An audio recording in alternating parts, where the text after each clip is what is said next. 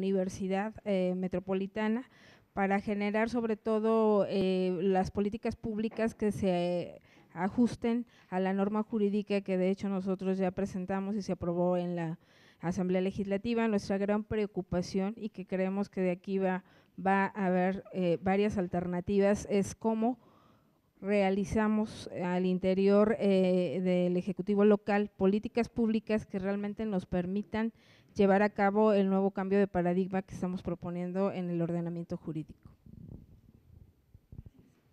Buenos días, eh, yo soy Miriam Telles, soy eh, profesora investigadora de la licenciatura en Ingeniería en Sistemas de Transporte Urbano de la Universidad Autónoma de la Ciudad de México.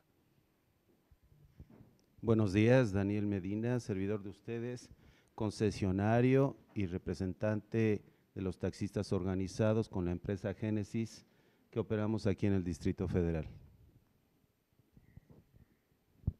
Gracias a todos, gracias Daniel. Entonces, eh, iniciaremos con la presentación de, de Guillermo. Este, me paso allá para...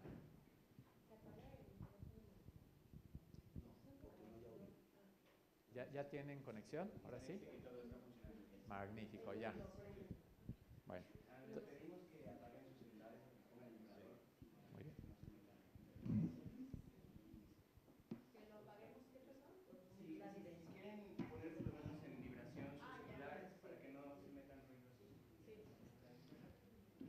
Bueno, agradecemos la, la conexión y la presencia con las universidades hermanas que nos acompañan de Puebla, de Guadalajara y con todo el sistema de colegios de la frontera norte que hoy en día constituyen instituciones muy importantes por su ubicación geográfica y sus avances en investigación.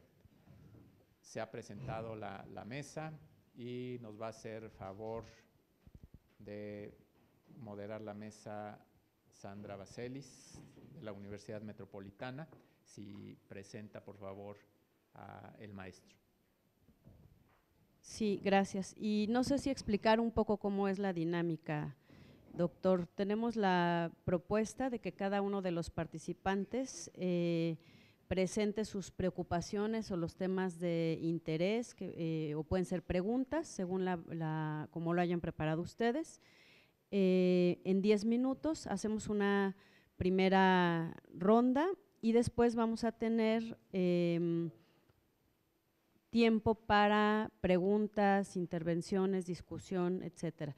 Eh, entonces eh, tenemos el tiempo, voy a ser muy estricta con el tiempo de los 10 minutos de cada uno. Creo que excepto la primera presentación es un poco más extensa, me decían. Sí, ok. Muchas gracias. Entonces, em, empieza por favor el maestro Guillermo Velasco del Centro Mario Molina. Gracias, muy buenos días. Primero, nomás proyectarles un mapa de lo que consideramos nosotros que es la megalópolis para tener como un marco territorial. Son las entidades que ven ahí marcadas, no consideramos Querétaro por Querétaro por varias cosas, uno un tema de distancia, pero otro un tema de servicios e integración con las demás ciudades. Los 150 municipios y seis entidades que están aquí proyectadas tienen una interdependencia mucho, mucho más significativa, pero además dependen en su mayoría mucho de servicios del Distrito Federal, cuando Querétaro, por ejemplo, tiene servicios propios que lo hacen que no dependa tanto de ciertos servicios localizados en el Distrito Federal. Destaca que el 74% de la concentración de los equipamientos están en sus, en sus centros, tiene un, como todos sabemos, un, sí, a la que sigue, ¿no? Este, y aquí lo que se marcan son las principales zonas atractoras de, de viajes, que son los colores rojos, y las azules son las productoras de viajes. Entonces tenemos este fenómeno de, de un crecimiento poblacional periférico que hace es- esta como latido de movilidad, ¿no? Como todo el mundo despierta en la zona periférica, se traslada a las zonas centrales y luego se vuelve a trasladar a la, a la zona periférica. Creemos que aquí, por ejemplo, falta un impulso a nuevos polos de desarrollo que no permitan este, o no hagan necesario este desplazamiento y como ven hay una alta concentración de, servicios y de empleo en esas zonas. Por ejemplo, algunos datos relevantes, se pueden llegar a hacer hasta seis horas diarias y a la gente le puede costar hasta 30% de su salario. Entonces, esta política que hemos tenido en México de vivienda de interés social sobre todo, de lanzar a la gente que adquiere esta vivienda a los límites urbanos, pues los estamos condenando a una peor calidad de vida y a una restricción económica familiar muy alta, porque como les digo, el gastar 30% de salario en trasladarse y además hasta 6 horas de su tiempo diario dedicado al transporte, pues es bastante. En temas de calidad de aire, todos sabemos que las ciudades que la componen tienen problemas de calidad de aire. Nosotros, bueno, todo el mundo sabemos que la principal fuente de emisión de contaminantes atmosféricos son el sector transporte, todo lo que tiene que ver con transporte privado de carga público de pasajeros. Por ejemplo, el 45% del consumo energético de la megalópolis se realiza en el sector transporte. ¿La que sigue? Perdón. Y esta es una gráfica de una propuesta en materia de movilidad a escala megalopolitana que ideamos en su, en su momento. Si ven, al rato vamos a hacer un como acercamiento a la zona metropolitana de Toluca, donde pueden ver un, un pedacito en verde que es un sistema de BRT que creemos que necesita Toluca, obviamente en Pachuca y incluso en Puebla creemos que también se necesitan, pero encontramos cuando hacíamos este estudio de algunas, algunas dinámicas entre las metrópolis que creemos que podrían resolverse con corredores megalopolitanos, por así decirlo. Los que ven con rayas rojas les llamamos sistemas evolutivos porque no, todavía no tenemos datos de la demanda suficientes como para proponer exactamente qué debe ser, pero sabemos que son las líneas de deseo. Encontramos, por ejemplo, que en Atlacomulco hay muchísimos trabajadores que desde las cuatro y media de la mañana toman camiones con destino a la, a la Ciudad de México. También encontramos cómo, este, dónde están los sistemas férreos y cómo están las líneas de carga entre diferentes metrópolis y creemos que hay algunos lugares que son las partes como rosas o moradas que ven, en las que podría haber líneas férreas de carga que podrían descongestionar mucho también las zonas centrales de la, de la metrópolis. Y están indicados los proyectos de presidencia de trenes, indicados nomás porque se había anunciado que se iban a hacer, no porque coincidamos en que eran necesarios tenerlos. Ahora la que sigue, por favor. La que sigue. No, hacia adelante. Sí, era otra. Eso. Ese es el acercamiento a la zona metropolitana de Toluca. Hicimos un estudio de, de movilidad para el gobierno estatal. Y lo que vimos primero fue una lamentable total separación en temas de movilidad y en temas de estructura urbana entre el tren interurbano México-Toluca, es decir, la política federal, y la política de movilidad de la, de la ciudad. Como anécdota, cuando se anunció el tren interurbano México-Toluca y sabíamos que se iba a licitar, y estamos en este estudio, dijimos, pues nos acercamos a las secretarías de desarrollo urbano estatales y a los municipios para entender dónde iban a estar las estaciones. Y la respuesta fue, pues no sabemos, nadie nos ha dicho. Entonces tenemos por un lado la política estatal y municipal por un lado y por otro lado la política federal. Aquí se marca un poquito, está, el número uno es la central, la terminal de autobús actual. El tres es donde está propuesta una terminal del tren, ustedes vieran el lugar físicamente, si yo llegara en camión a la, terminal de autobús actual, tendría que hacer un símil de cruzar el periférico con mi maleta para llegar al tren, porque por alguna extraña razón no se pensó en cómo librar esos 200 metros para que hubiera una integración entre la terminal de autobuses y la terminal de tren. Entonces, una de nuestras primeras propuestas aquí era que esa terminal se convirtiera en un CETRAM que pudiera, además de recibir las líneas de alimentación del transporte local también tuvieron una conectividad con la terminal de autobuses que ya existe. ¿no?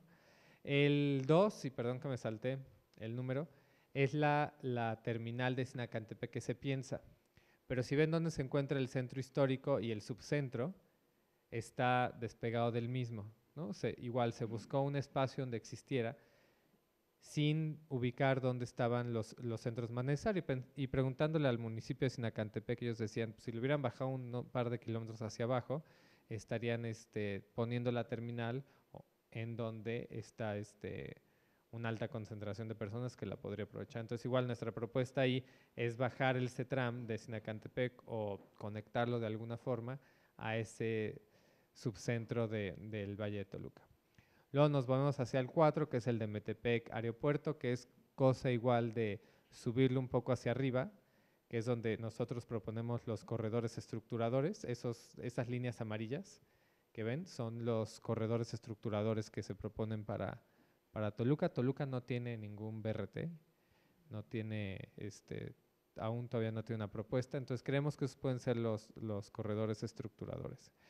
Igual en el 5, que es el de San Mateo, es el que más se acerca a, algo necesario.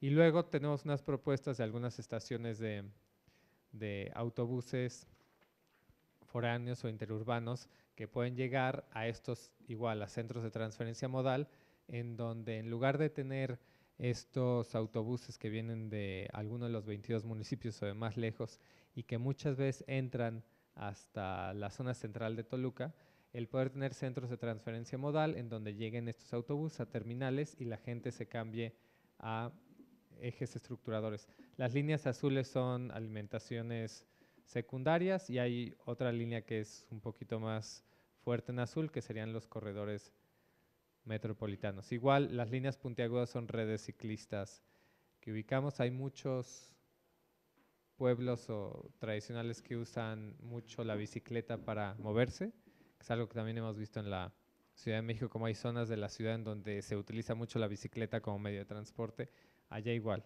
Es parte de la propuesta y desde el punto de vista, dos cosas del punto de vista urbano. Uno, las partes sombreadas de Toluca y de Metepec, creemos que ahí podemos hacer algo que llamamos, bueno, uno, zonas 30 de, baja velocidad para vehículos y otras zonas de baja emisión, en donde en lugar de aplicar un esquema tipo hoy no circula toda la Ciudad de México, se aplica esquemas de restricción vehicular en las zonas centrales. ¿Por qué en las zonas centrales? Uno, estarían, si sigue esta propuesta, bien abastecidas de transporte público estructurado, Dos, son zonas con mucha población y mucho movimiento en donde queremos privilegiar la protección a la salud y la buena calidad de aire.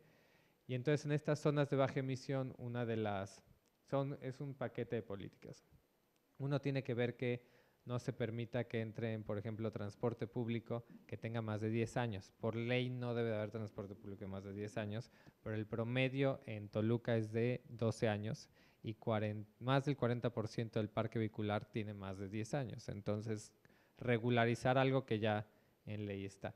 Y también, por ejemplo, tener, no uno y no circula, pero sí decir, si tu coche no ha sido verificado, pues no puede entrar. Es básicamente una zona de mayor vigilancia para el cumplimiento de la ley que ya, que ya existe.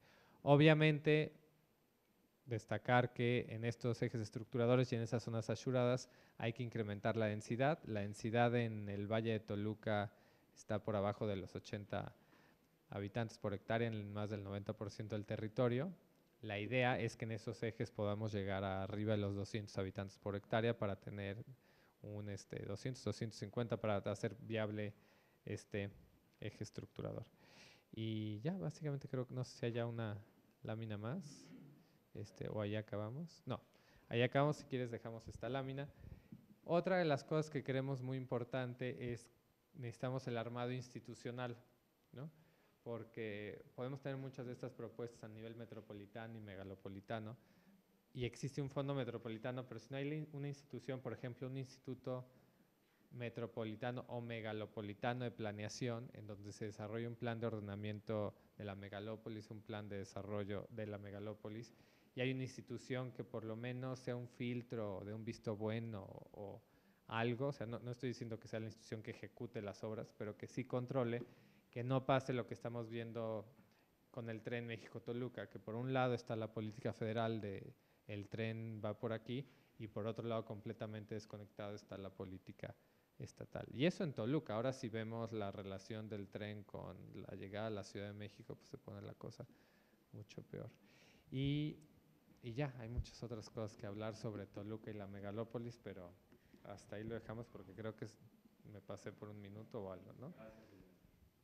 Eh, muchas gracias, Guillermo Velasco, del Centro Mario Molina. Eh, saludamos y damos la bienvenida a Miguel Ángel Velázquez, jefe de sección de Capital del periódico La Jornada, que está con nosotros. Eh, explicarle rápidamente que la dinámica es, en 10 minutos estamos haciendo presentaciones diversas sobre los planteamientos generales y después de eso tenemos un tiempo para la discusión y debate de las ideas, si no le parece mal. Y nos ve con estos micrófonos porque cuando participemos necesitamos, estamos transmitiendo directo a otras universidades y se tiene que usar el micrófono. Gracias. Em, entonces, toca participar a la doctora María Eugenia Negrete del Colegio de México. Por favor, doctora. Buenos días y muchas gracias por invitarme a discutir algunos, algunos puntos. Eh, por la brevedad del tiempo para intervenir, eh, traje unas muy breves diapositivas que voy a pasar demasiado rápido porque son simples introducciones por dar dos o tres eh, ideas que quiero, que quiero discutir.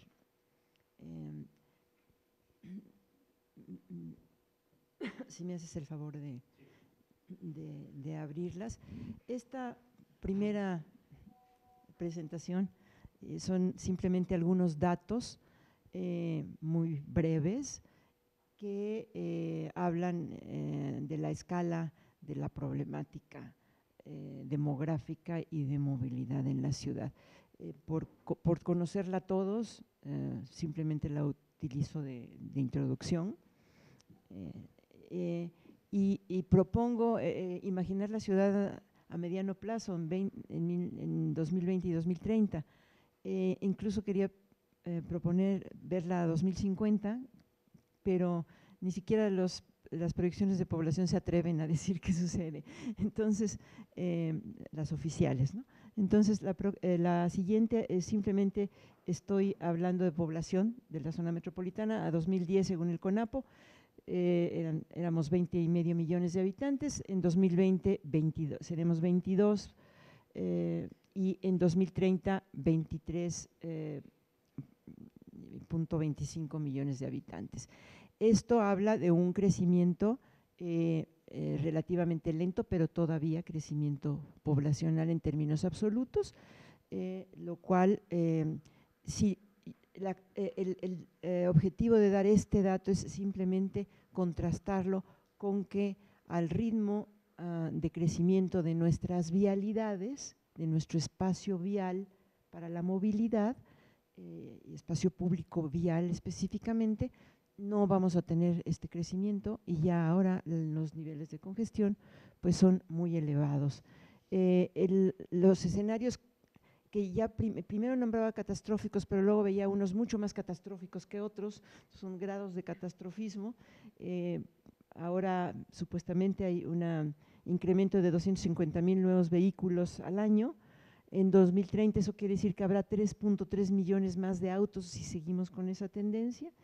Y eh, los datos del programa de verificación vehicular en 2001 teníamos 2.3 millones de vehículos, 1.7 en el DF y 0.6 en el Estado de México, en total 5.6 millones, pero las visiones del poder del consumidor eh, hablan de 7,5 a 9,5 millones en 2020 y 2030 en estos mismos escenarios, o sea, de más a más catastróficos. Eh, la siguiente muestra una gráfica que hace muchos se había habíamos desechado en Metrópoli por ser catastróficos y por tener una tendencia lineal. Y parece que estamos, según el consumidor, eh, los, datos del, del consumidor, muy cerca de lo más catastrófico. Entonces, en términos de incremento del parque vehicular.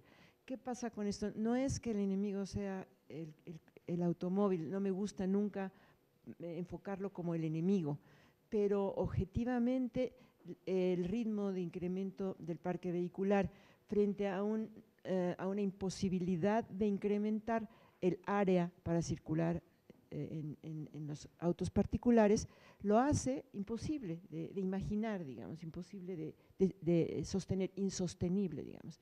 Entonces, en ese sentido, lo obvio, si pasamos a la siguiente, pues es mayor frecuencia de situaciones límite de congestionamiento y lo ah, y, bueno, esta es una imagen que hemos visto varias veces de cómo eh, el, transportar a 75 personas en un transporte privado eh, este, implica esta, una, una eh, longitud de, calle saturada, esas mismas personas en, transportadas en vehículos de transporte público, en autobuses, este, un, solo, un solo autobús y por lo tanto las calles se descongestionarían. Yo querría enfocar el tema de la congestión y de la imposibilidad de hacer segundos y terceros pisos y cuartos pisos en las calles y eh, casi casi concluir la obviedad de la mejora en el transporte público, de preferencia este, eh, mezclado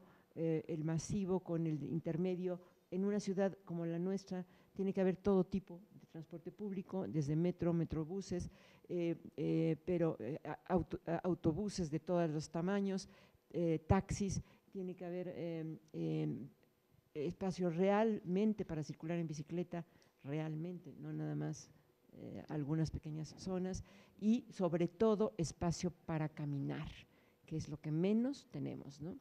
entonces, ¿Qué pasa en, un escenario a este mismo tiempo? creo que son temas que trabajan eh, nuestros invitados internacionales, que ah, hay eh, avances tecnológicos eh, que, están, que implican cambios interesantes en la movilidad o al menos sugerentes, en la utilización del, de teletrabajo, del trabajo en, casa, hay también avances en este sentido de qué tanto la gente puede dejar de moverse porque está haciendo el trabajo desde su domicilio.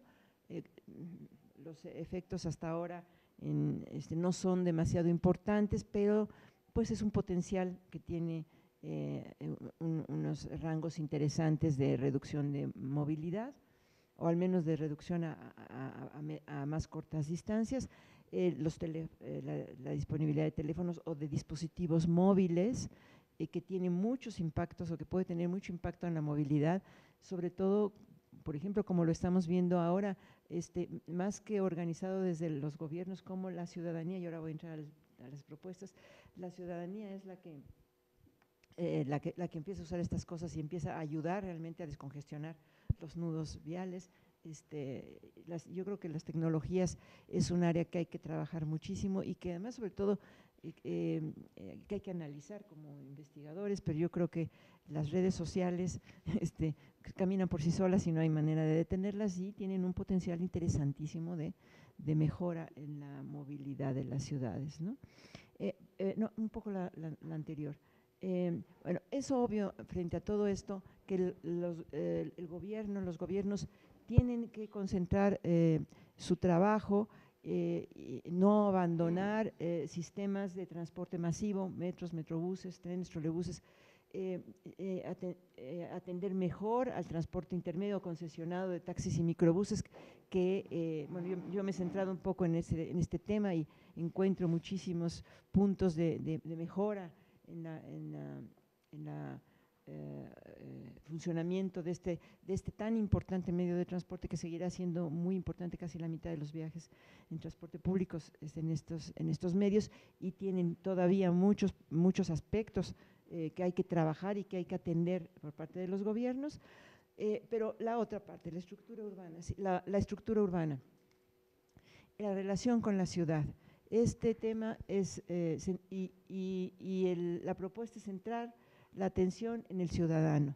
Es el ciudadano quien, eh, eh, en quien creo que, hay, que, hay que atender eh, como punto, punto focal.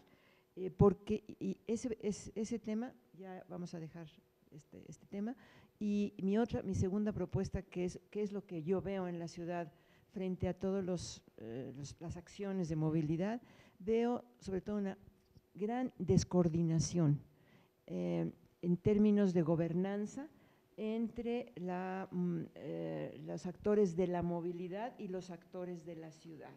entre los gobiernos eh, y, los sectores, eh, áreas gubernamentales que trabajan la movilidad y los que trabajan la ciudad. Eh, hablamos de que es importante una ciudad densa, por ejemplo, pero vemos que las acciones de densificación en concreto no tienen nada que ver con las acciones de movilidad. Y al contrario, si bien es bueno pensar en una ciudad densa, estoy totalmente de acuerdo, vemos que la acción inmobiliaria, los inmobiliarios, jamás se acercan a analizar el impacto en la movilidad y el impacto urbano de esos permisos de densificación que tenemos sin límite. Y entonces el plan de movilidad necesita forzosamente vincular la plusvalía que da la densificación con acciones que respondan a, que, hagan responsables a los actores de los impactos en la movilidad que generan sus grandes edificios y su densificación. Y no hay ninguna, eh, bueno, eso no es, novedad, pero no hay una coordinación horizontal de la planeación urbana y de la planeación del transporte y la movilidad. Y yo creo que ese es un punto central en el que el, el actor ciudadano tiene que intervenir siendo empoderado, quiero decir empoderado, que tenga posibilidades de, de interactuar con, eh, con, los gobiernos, con los representantes de los gobiernos y con los representantes privados directamente para que, que, se responda a, sus, a las necesidades locales, a escalas mucho menores, intermedias y sobre todo pequeñas. Bueno, esa es mi propuesta. Eh, muchas gracias, doctora. Eh, es el turno de la doctora Priscila, Priscila Connolly de la Universidad Autónoma Metropolitana Azcapotzalco. Gracias. Este, hay un PowerPoint, pero no, no importa mucho si lo ponemos o no. Muchas gracias por la invitación a participar en este debate que pinta como va a ser muy, muy interesante. Eh, mi, intervención no está tanto a nivel de las soluciones prácticas, sino la manera como pensamos y cómo em, expresamos y cómo platicamos esas soluciones. Y este, empiezo con, eh, eh, pues empiezo peleando con la propuesta que me hizo Bernardo, diciendo, este, ¿por qué no discutes las ventajas y desventajas de lo, del transporte público y el transporte eh, privado? Entonces, empezaría sugiriendo que tratemos de desbaratar estas dicotomías que separan lo público y privado, si podemos ver el segundo, la, segunda, ¿sí? Este, porque creo que lo que eh, el efecto es este, mistificar y, difundir una idea errónea de, de, cómo se producen materialmente las cosas, ¿no? Entonces, desde el punto de vista de la producción de los medios de la movilidad, creo que la dicotomía público versus privado no, no funciona, y le voy a explicar por qué. Y desde el punto de vista del consumo tampoco funciona el, el, colectivo individual. Esa discusión tuvimos hace 40 años por, diversos motivos, pero sigue, sigue en pie. Y, y, y, no funciona porque, inclusive por lo que han dicho los que ya han hablado que siempre se combinan las cosas, entonces este, uno combina lo privado y lo público, no, no, no, se, no se consume así. Bueno, la siguiente, por favor. ¿Y por qué no, no funciona? Bueno, voy a concentrar más en, en el problema de la, de la, producción. Este, ¿Por qué no em, podemos hacer esa dicotomía entre la producción privada y la producción pública? Bueno, hay, hay muchos motivos. Primero, eh, eh, la cuestión histórica de la constitución del Estado moderna, este, la, la, producción de los medios para la movilidad yo creo que forma parte integral de la constitución del Estado moderno. Malinowski habla de obras hidráulicas y esas cosas, pero también caminos, puentes, este, es, parte desde el capitalismo hasta la fecha eh, este, de, de, lo que hace el Estado. O sea, no, no, no, no la función del Estado, sino lo que es el Estado, es hacer medios de movilidad. Segundo, en el caso mexicano es aún más cierto, desde la herencia colonial, en que el rey tenía el monopolio de todo, sobre todo los medios de, comunicación, y combinado con la herencia del derecho administrativo francés que, llegó en el siglo XIX, el Estado efectivamente tiene el monopolio de los medios de traslado, este, y de ahí viene el concepto de las concesiones que, que también llegó en el siglo XIX. Por otra parte, este, o sea, el gobierno inevitablemente está en la movilidad, no, no lo podemos quitar de ahí. Pero por otro lado, los sectores particulares siempre están, no, no, no, no se puede hacer nada sin la iniciativa privada en una economía de mercado. Este, y lo que varía y lo que tenemos que evaluar y lo que tenemos que enfocar la atención es, digamos, el arreglo, entre comillas, o eh, la disposición, lo llama eh, Henri Cohen, así como 30 años de eso, entre lo que hace el gobierno y lo que hacen los particulares. Eso, eso es lo que varía, no, no es que es entre privado y público, sino cómo se, se entienden, cómo se arreglan, y arreglan entre comillas y sin comillas, ¿no? en el sentido común de la, del término, cómo se, cómo se arreglan. ¿no? Yo, yo, yo, he usado el término arreglo. Em, eh, otro, otra cuestión que tenemos que tomar en cuenta que dentro de ese arreglo este, no, podemos estar seguros de que los agentes públicos van a actuar como agentes públicos porque también por esa cuestión de los conflictos de intereses y otros eh, nombres que uno podría mencionar, y cabildeos y demás, eh, actúan a favor de intereses particulares.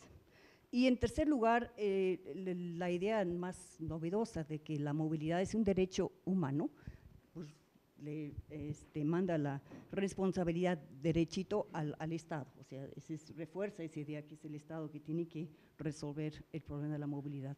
El siguiente.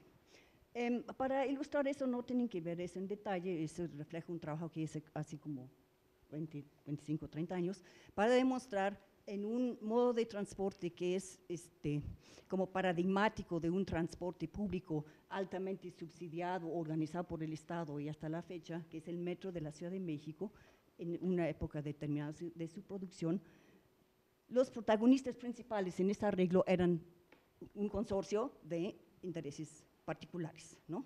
O sea, de hecho hay dos gobiernos, el gobierno mexicano y el gobierno francés, diferentes niveles, pero hay bancos, hay constructoras, hay consorcios, y, esos estaban realmente manejando el, proyecto.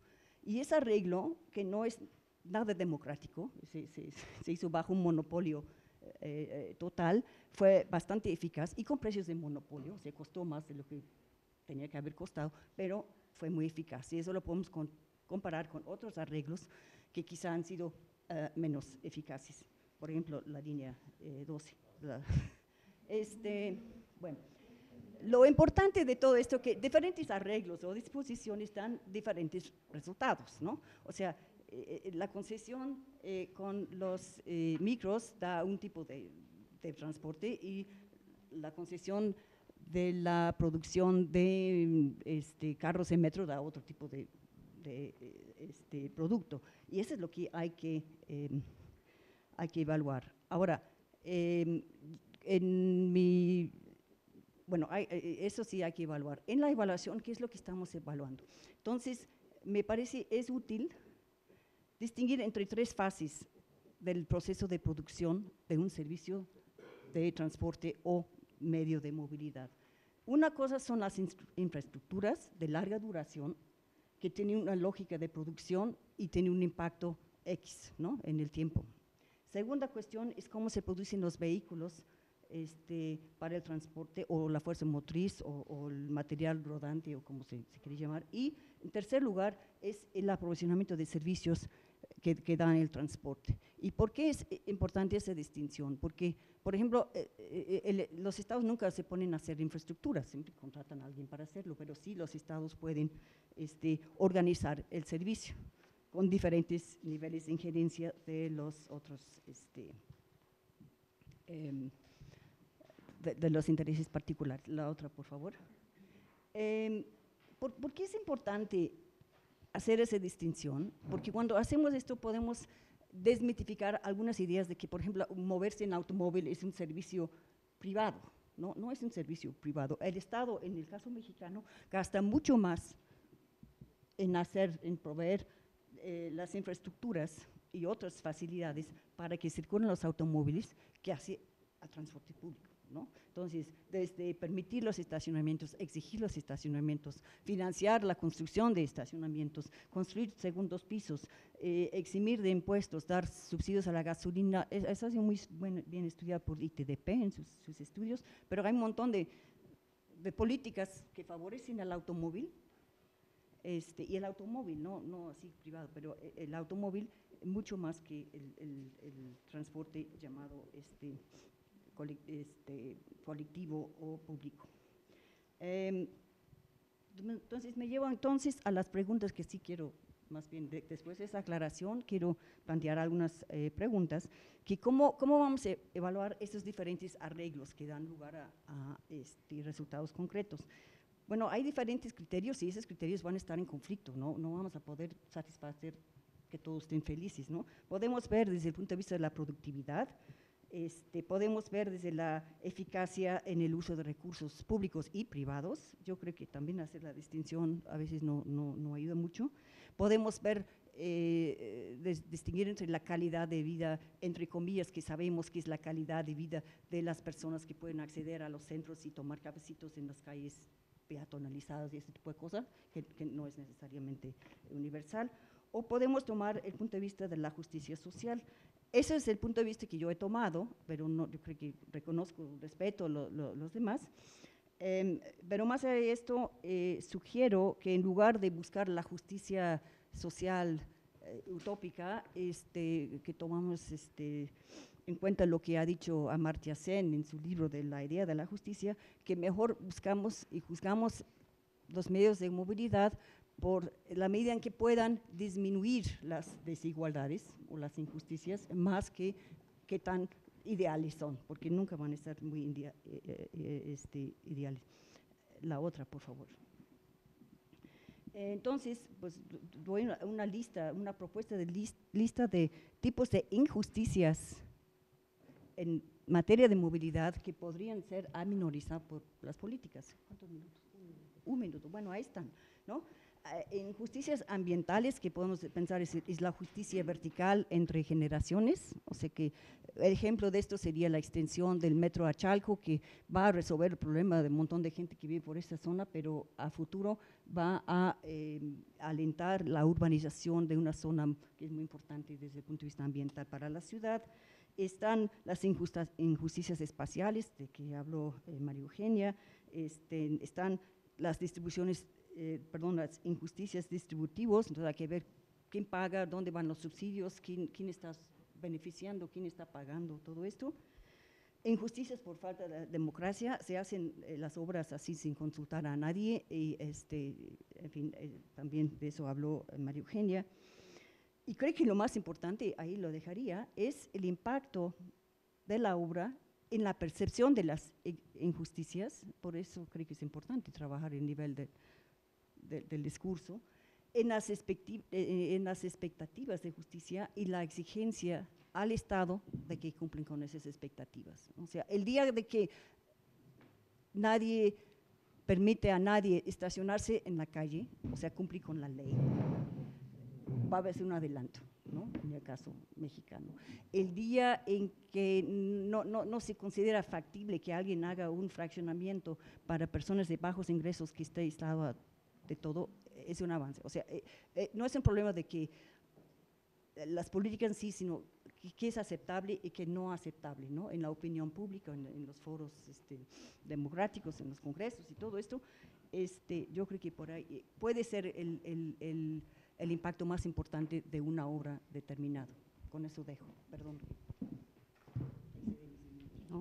¿No? Muchas gracias. eh, gracias a quienes han participado hasta el momento porque se han ajustado bastante bien a su tiempo y no me han…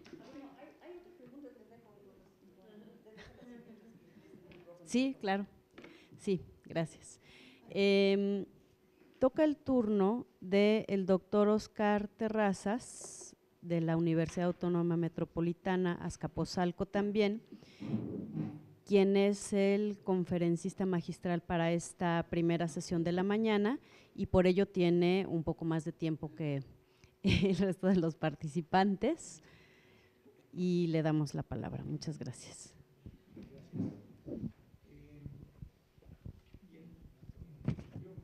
quiero compartir hoy con, ustedes eh, un trabajo que he venido realizando hace un tiempo ya, que incluye una propuesta. Eh, me parece que eh, he anotado aquí, eh, tiene que ver, está relacionada o es igual a la que ustedes han planteado, los que me han precedido, en, muchos aspectos. Ha sido útil tener esta visión primero y después presentarlo porque me da elementos incluso para identificarme con las propuestas anteriores. Em, voy igual a em, sintetizar la presentación. Em, intento eh, seguir una secuencia, me estoy adelantando un poco a que aparezca en pantalla. Sigo una secuencia de eh, un análisis, una, una, indagación sobre la ciudad, una breve referencia que todos ustedes han hecho a lo equivocado, parcial o poco informado, poco discutido de muchas políticas y termino con una propuesta idealista, igual que muchas de las que ustedes han propuesto, digamos, eh, difícil de suponer que van a presentarse a corto plazo sin, sin muchas cosas que la sustenten, que implican cambios. Bien, Sí, la, que sigue, por favor. Eh, mm, brevemente eh, voy a, enfocarme en eh, el planteamiento que tiene que ver con los espacios públicos, que es un poco también un interés en, esta propuesta. la siguiente, por favor, porque es más fácil hablar de... entiendo la ciudad en esta presentación como un espacio que es esencialmente de propiedad privada, Aquí sí estimo que hay una diferencia eh, muy clara eh, en el sentido que suponía Priscila que no había en los privado, individual, colectivo del transporte. Eh, esta es la ciudad, esta es Reforma, más del 70% de esta superficie, es un, segmento de la ciudad, es, propiedad privada. la ciudad es, una, es, es, un territorio que es propiedad privada, no estoy descubriendo nada, es ya discutido hace mucho. Los espacios públicos son en promedio el 30%, es un promedio muy general de ciudades en el mundo y en la historia, hay, habría que ver cada caso. Eh, aquí hay una superficie pública muy ancha que se reforma con sus glorietas, hay muchas zonas urbanas, si esto fuera una foto de NESA, habría que restarle muchísimo al espacio público, no hay calles así, eh, pero la ciudad es esto, y lo que tenemos para trabajar y para la movilidad es este 30%, esas callecitas, algunas de acceso controlado, el circuito, otras no tanto y diferentes. Eh, siguiente, por favor. Eh, eh, desde la academia, aquí tenemos miembros de la academia, miembros participantes que no son de la academia, intento rescatar la idea y la aportación que podemos hacer desde la academia, igual se puede hacer desde otros lados, de explicar cómo se transforma la ciudad, publicado algunos trabajos al respecto. Eh, siguiente, por favor. Y he intentado demostrar que eh, la ciudad, siguiente, por favor, porque no los voy a poner a leer. Eh, siguiente, mm, se transforma, cambia. las actividades más importantes e intensas en la ciudad se localizan a lo largo de las principales vías de comunicación, es decir, los caminos. adelanto ah, la propuesta de em, teórica de que si queremos entender el proceso, no necesariamente la lógica, pero sí el proceso de cómo se transforma la ciudad, primero se transforma, primero cambia, primero se demuelen eh, los inmuebles sobre los caminos, sobre las vías, y después al interior de las colonias y en todas otras zonas de la ciudad. Eh, la ciudad se transforma por caminos. Eh, es donde se presenta la actividad más intensa, las mayores actividades comerciales, de servicios, es lo que todos los grupos políticos, estos espacios, estos caminos, intentan ocupar. Tenemos tres días de que hay un grupo, digamos, un grupo político, un grupo sindical, maestros, ah, eh, ocuparon un camino, el camino más importante de la ciudad, podríamos decir. Eh, ahí ocurren las cosas, ahí, ahí se dan. La ciudad se organiza y se mueve por caminos. Eh, esto está claro en discusión. Eh, no soy el primero que lo propone, estoy intentando demostrarlo. La siguiente, por favor. junto con otros, la ciudad ha crecido por caminos, de la ciudad de los años 30 a la ciudad de fines de los 90. Em, podemos ver que em, el esquema en general tiende a decirnos que la ciudad se desarrolla a lo largo de vialidades, algunas no son carreteras de salida, este es el periférico, la salida a Querétaro. siguiente, por favor. También, em, por cierto, el centro, el centro de la ciudad, la centralidad, también ha sufrido, ha, mostrado una em, transformación por caminos. Esta es la centralidad en, en 75, de acuerdo a estudios específicos de uso del suelo, que no voy a citar aquí, pero están documentados, que em, se desarrollaba por Tlalpan, Insurgentes, eh, Revolución, Reforma, en fin, otras vialidades. Y eh, después se completó el desarrollo de esta centralidad, la zona de actividades más intensas en los años 80, y después son los 90 y 2000 que han acentuado el desarrollo en este sentido. Siguiente, por favor. Eh, esta es la centralidad en, el 2004 y aquí están las vialidades. Eh, este coincide también con, por ejemplo, lo que Guillermo nos presenta de las zonas que concentran la atracción de viajes, eh, que coincide con mucho con esto en el caso de la Ciudad de México. Eh, es decir, tiene una estructura también de caminos, salvo en el caso de Puebla, de acuerdo a la información que tú mostraste, Guillermo, que sí parece la zona de atracción de viajes concentrada en un circulito.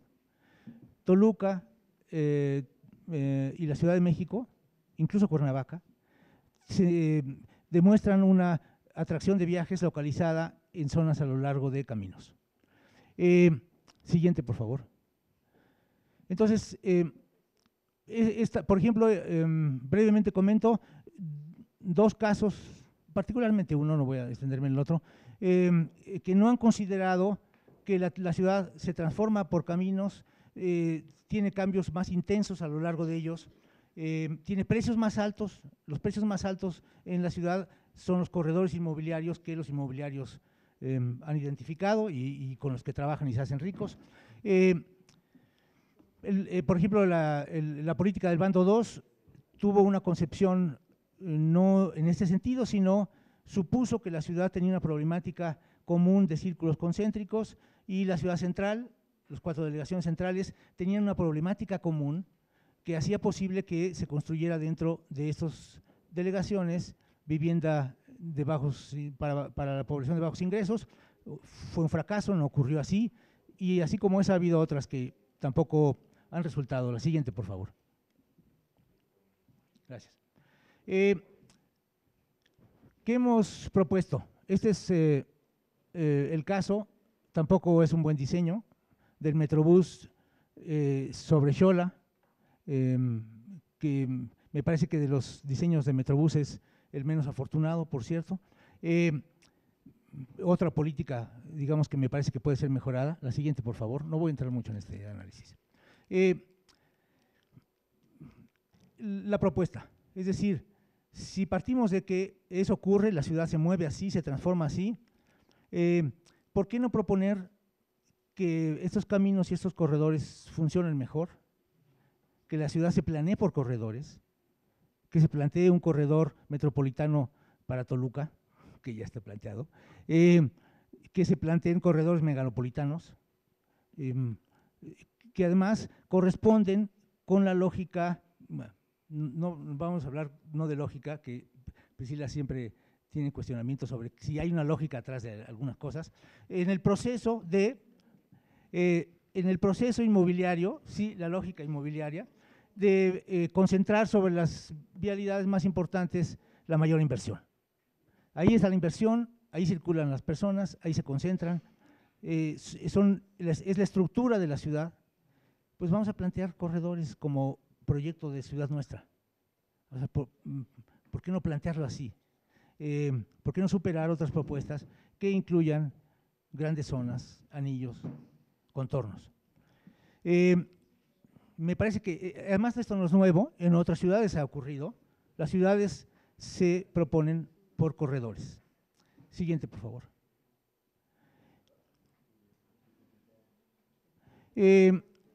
tenemos digamos, tenemos alguna trayectoria nosotros en plantear corredores, sí, eh, la más vieja es una propuesta eh, europea, un bulevar, el Paseo de la Reforma. Eh, me refiero a, un tipo de corredores que, puede ser planteado, que, que, yo propongo. Por eso es el título de la presentación. una ciudad, me imagino una ciudad de paseos, una ciudad que incorpora el esquema del bulevar digamos, mucho más eh, eh, amplio y mixto y funcional, pero que tiene que ver con esta propuesta. Nosotros tenemos uno. Eh, cuando yo estudiaba arquitectura, suponía que este era un paseo único en el mundo, no había salido, y era el más hermoso del mundo. Cuando fui a Europa, me di cuenta que en Barcelona hay 50, en París 80, en fin, muchos. Eh, pero, pero es un boulevard, digamos, contiene elementos de belleza y de funcionalidad importantes. Eh, su sección es importante, mezcla circulación local con circulación, no estoy seguro si regional, pero sí metropolitana, eh, incorpora áreas verdes, permite el uso mucho más em, eh, tranquilo, lúdico de los peatones. Em, bien, la que sigue. Tenemos también otro, otro caso de una vialidad eh, significativa que a mí me parece que a lo largo del tiempo, poco a poco, ha sido mejor aprovechada. Me parece que la Casa de Ignacio Zaragoza empieza a ser igual un corredor multifuncional, bueno, ya lo es, tren rápido, eh, separación de flujos, em, disponibilidad de camellones muy anchos. Em, este podría ser, digamos, em, junto con el, paradigma, el modelo de reforma, otro posible desarrollo de un bulevar multifuncional para la ciudad. Es, seguro, está claro, se requieren secciones anchas. Esto no puede ocurrir aquí. Pero tenemos muchas de estas. Ese es un buen ejemplo. Se ha salvado la conectividad entre los dos lados con puentes peatonales que la gente comúnmente no respeta, pero por lo menos el equipamiento está ahí. Siguiente, por favor. Eh, tomo por como ejemplo algunas eh, casos de París, los, tenía las fotos, las tengo aquí y ahí las paso. Eh, esta es una propuesta en París de un bulevar mixto con carriles para el transporte público, autobuses que también en muchas zonas comparten los taxis, transporte privado poco en los lados y transporte de, flujo local en los bordes, a veces equipamientos de estacionamientos abajo, Em, áreas verdes, que esto por ser invierno pues se ven tristes, pero hay áreas verdes. Em, una posibilidad de un bulevar multifuncional. Siguiente, por favor. Em, aquí hay algunas características que deben tener estos, estos paseos. Eh, hablamos de al menos 35 metros de sección, generalmente 50 serían suficientes. Eh, la, otra característica o virtud de este tipo de propuestas, estos paseos, es que hay espacios cómodos para el peatón, presencia sustantiva de áreas verdes, carriles exclusivos para el transporte colectivo, para bicicletas, eh, así como banquetas amplias y camellones a favor de los peatones y de las actividades lúdicas, comerciales e incluso políticas. Hay presencia de áreas verdes, eh, lo cual mejora las características, eh, digamos, de sustentabilidad y, naturales en las zonas y se pueden separar los flujos viales. Aquí doy un dato de viejo, de 2007, el último que hay en, términos de un estudio de origen-destino para la zona metropolitana. Eh, siguiente, por favor. Eh, otros dos bulevares eh, que mezclan actividades desde estacionamientos, espacios muy amplios para el peatón, reducción de carriles para el transporte, para los autos y camiones de carga, digamos, que eh, ocurre aquí. Em, em, es la idea de los paseos. Siguiente, por favor. Em, aquí hay otro, paseo más que mezcla de, una manera distinta el uso de todos, el uso más equitativo. por ejemplo, la disminución de la desigualdad eh, implica reducirle a alguien que tiene buena parte de la eh, superficie vial para su uso, que es el transporte individual, que sabemos que no es exactamente individual por todos los actores que participan, pero eh, lo usan pequeña, un, número pequeño de personas, eh, sería parte de esta propuesta. Siguiente. Algunos paseos que pudieran plantearse. podemos convertir en paseo Patriotismo, Revolución, 100 metros, Vallejo, Cuauhtémoc Sur, Ex Central, Baja California, Montevideo, la Avenida Central, Juan González, las vías López Portillo, Morelos, muchas. Sueño, o sea, sueño, este es sueño. Eh, habría que reducir mucho, pasar de, siguiente por favor, este esquema, este es patriotismo, este, aquí hay una desigualdad, una injusticia. Todo es para ellos, nosotros, porque a veces yo voy aquí. Eh, y no hay transporte colectivo, no hay ciclistas, no hay áreas verdes, no hay espacio para estar. Eh, e, es indispensable hacer un replanteamiento para que pase algo como esto. Siguiente, por favor. Eh, es igual invierno y hay niebla, pero algo así. Eso es verde. Es verde. Eh, y el cielo. Lugares para estacionamiento, eh, banquetas relativamente anchas, un espacio para, eh, que en este caso es amplio para el transporte individual, pero también circula transporte colectivo, em, espacios para estar, em, una ciudad em, menos injusta, planteada más para todos. Siguiente, por favor. ¿Es posible esto a mediano plazo? Ah, muy difícil. Primero debemos desarrollar significativamente el transporte público, reducir carriles para los autos individuales, para el transporte individual. Em, es, es, una primera medida, es coercitiva y autoritaria si la hacemos sin enriquecer el transporte público, transporte colectivo. Eh, indispensable que haya cómo transportarse si en lugar de ocho carriles como tengo ahora en patriotismo, tengo dos, eh, van a poder circular la cuarta parte de los vehículos que hoy circulan y los demás van a estar guardados en su casa, como en muchas ciudades europeas que los coches están guardados ahí lo usan los fines de semana. Eh, y también hace falta un trabajo de difusión, de discusión cultural, de puntos de vista, que enriquezca la concepción colectiva de la vida urbana, el uso del transporte colectivo, compartir, eh, la movilidad para que esto pueda ser posible. Pero pienso que puede ser. Gracias. Bueno, eh, agradecemos mucho la participación del doctor Oscar Terrazas y para iniciar la discusión sobre la primera parte eh, de las exposiciones de esta mañana, voy a abusar un poco y le voy a pedir al doctor Navarro que si puede plantear algunos, eh, algunos puntos para iniciar. Después eh, la participación será, conforme ustedes vayan levantando la mano, hacemos una lista y, e iniciamos esa discusión. Bueno, ahora sí ya estamos efectivamente en línea y conectado con nuestras universidades hermanas, ya está confirmado, etcétera. Les damos los buenos días. Han oído buen, la mayor parte de la discusión comentar que nos acompaña un eh, representante de operadores de transporte que es Daniel, que él, va a participar en la discusión dando puntos de vista, que agradecemos mucho su presencia porque es muy importante. Son los que saben, son los que están, son los que conocen además de los especialistas. Gracias Daniel y muy bienvenido Miguel Ángel también de, de la jornada. Eh, Guillermo Velasco nos dio un panorama general muy importante de la megalópolis y de la metrópoli, de eh, su dinámica y de sus vinculaciones.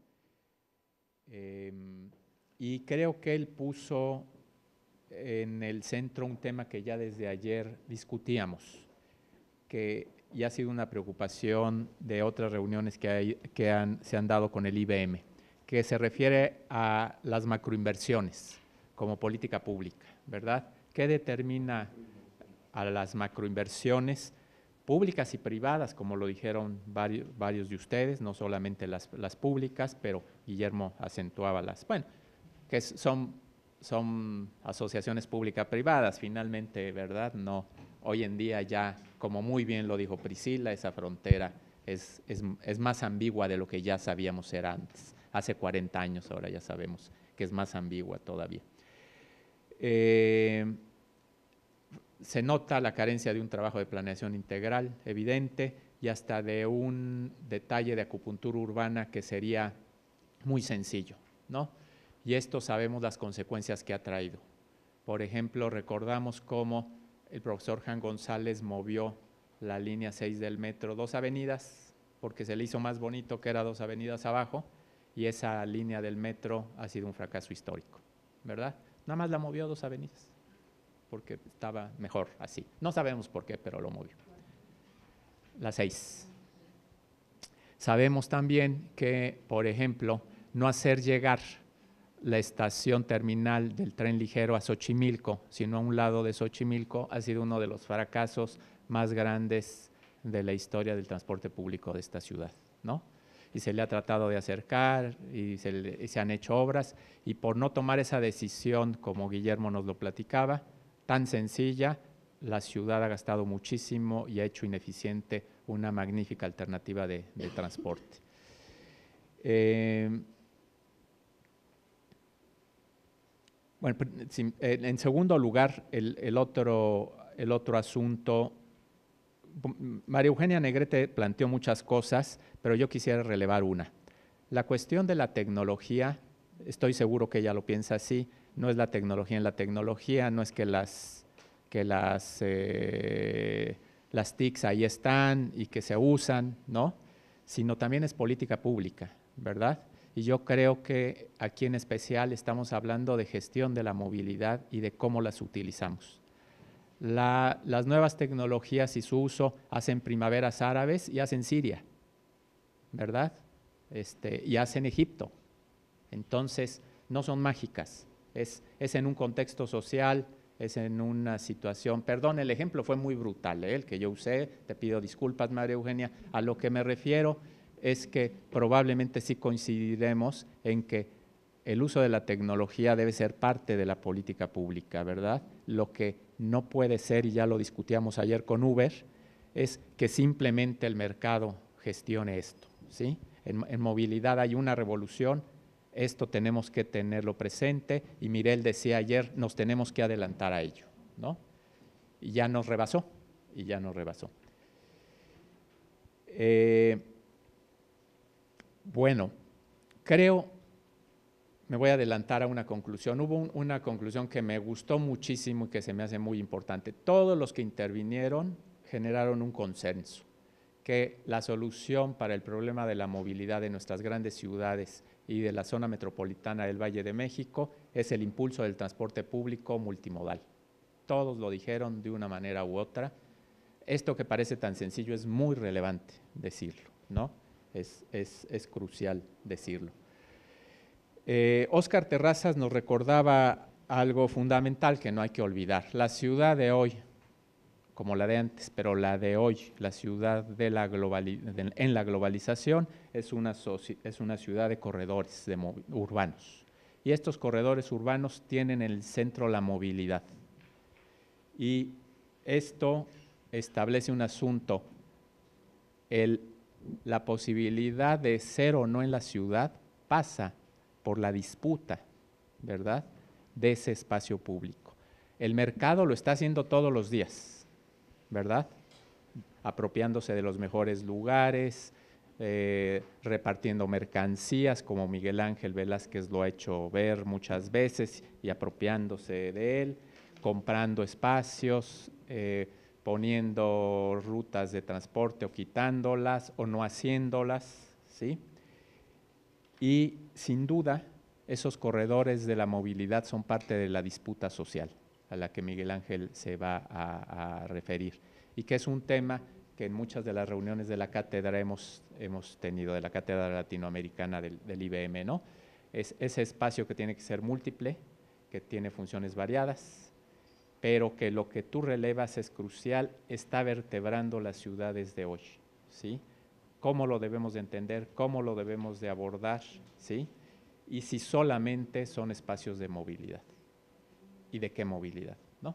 Ahí hay yo creo una, una pregunta eh, muy importante.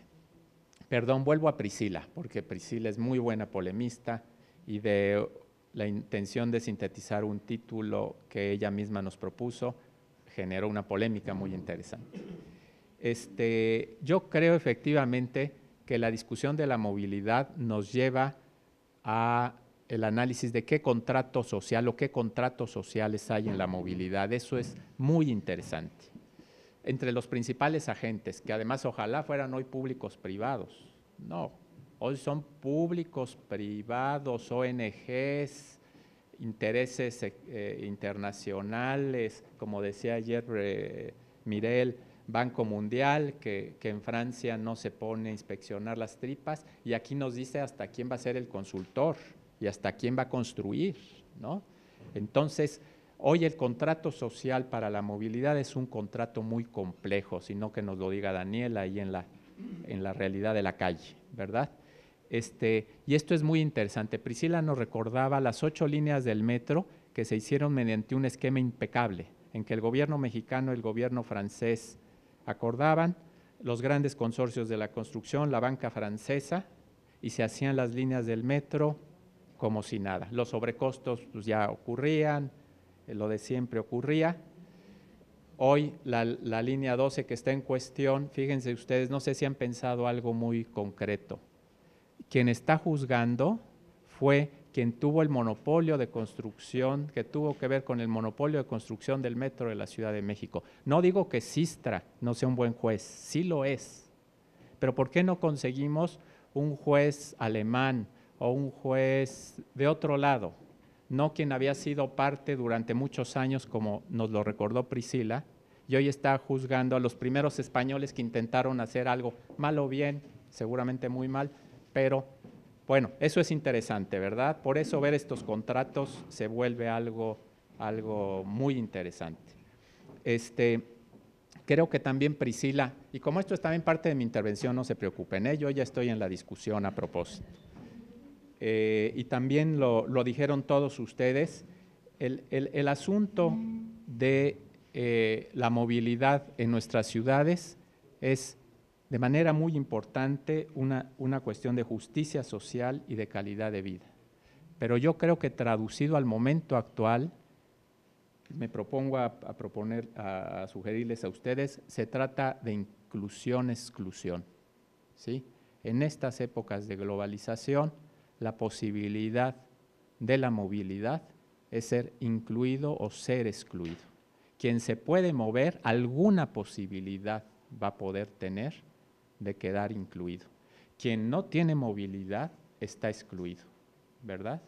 Inclusive en términos políticos, de protesta, de, expresión, en el caso de las mujeres, importantísimo en la proliferación de la motorización individual por seguridad de las mujeres, este es un asunto central, etcétera. Bueno, como soy anfitrión, no debo hablar mucho, yo quisiera hablar mucho más, pero ya me callo. Entonces, eh, daremos paso a las participaciones. Si alguien quiere iniciar, levantamos la mano y aquí yo voy apuntando el orden. Miriam Telles, de la UACM y la Facultad de Ingeniería de la UNAM, por favor. Este, bueno, eh, muchas gracias. Yo sé que todavía no hablo, pero gracias por permitirme estar aquí.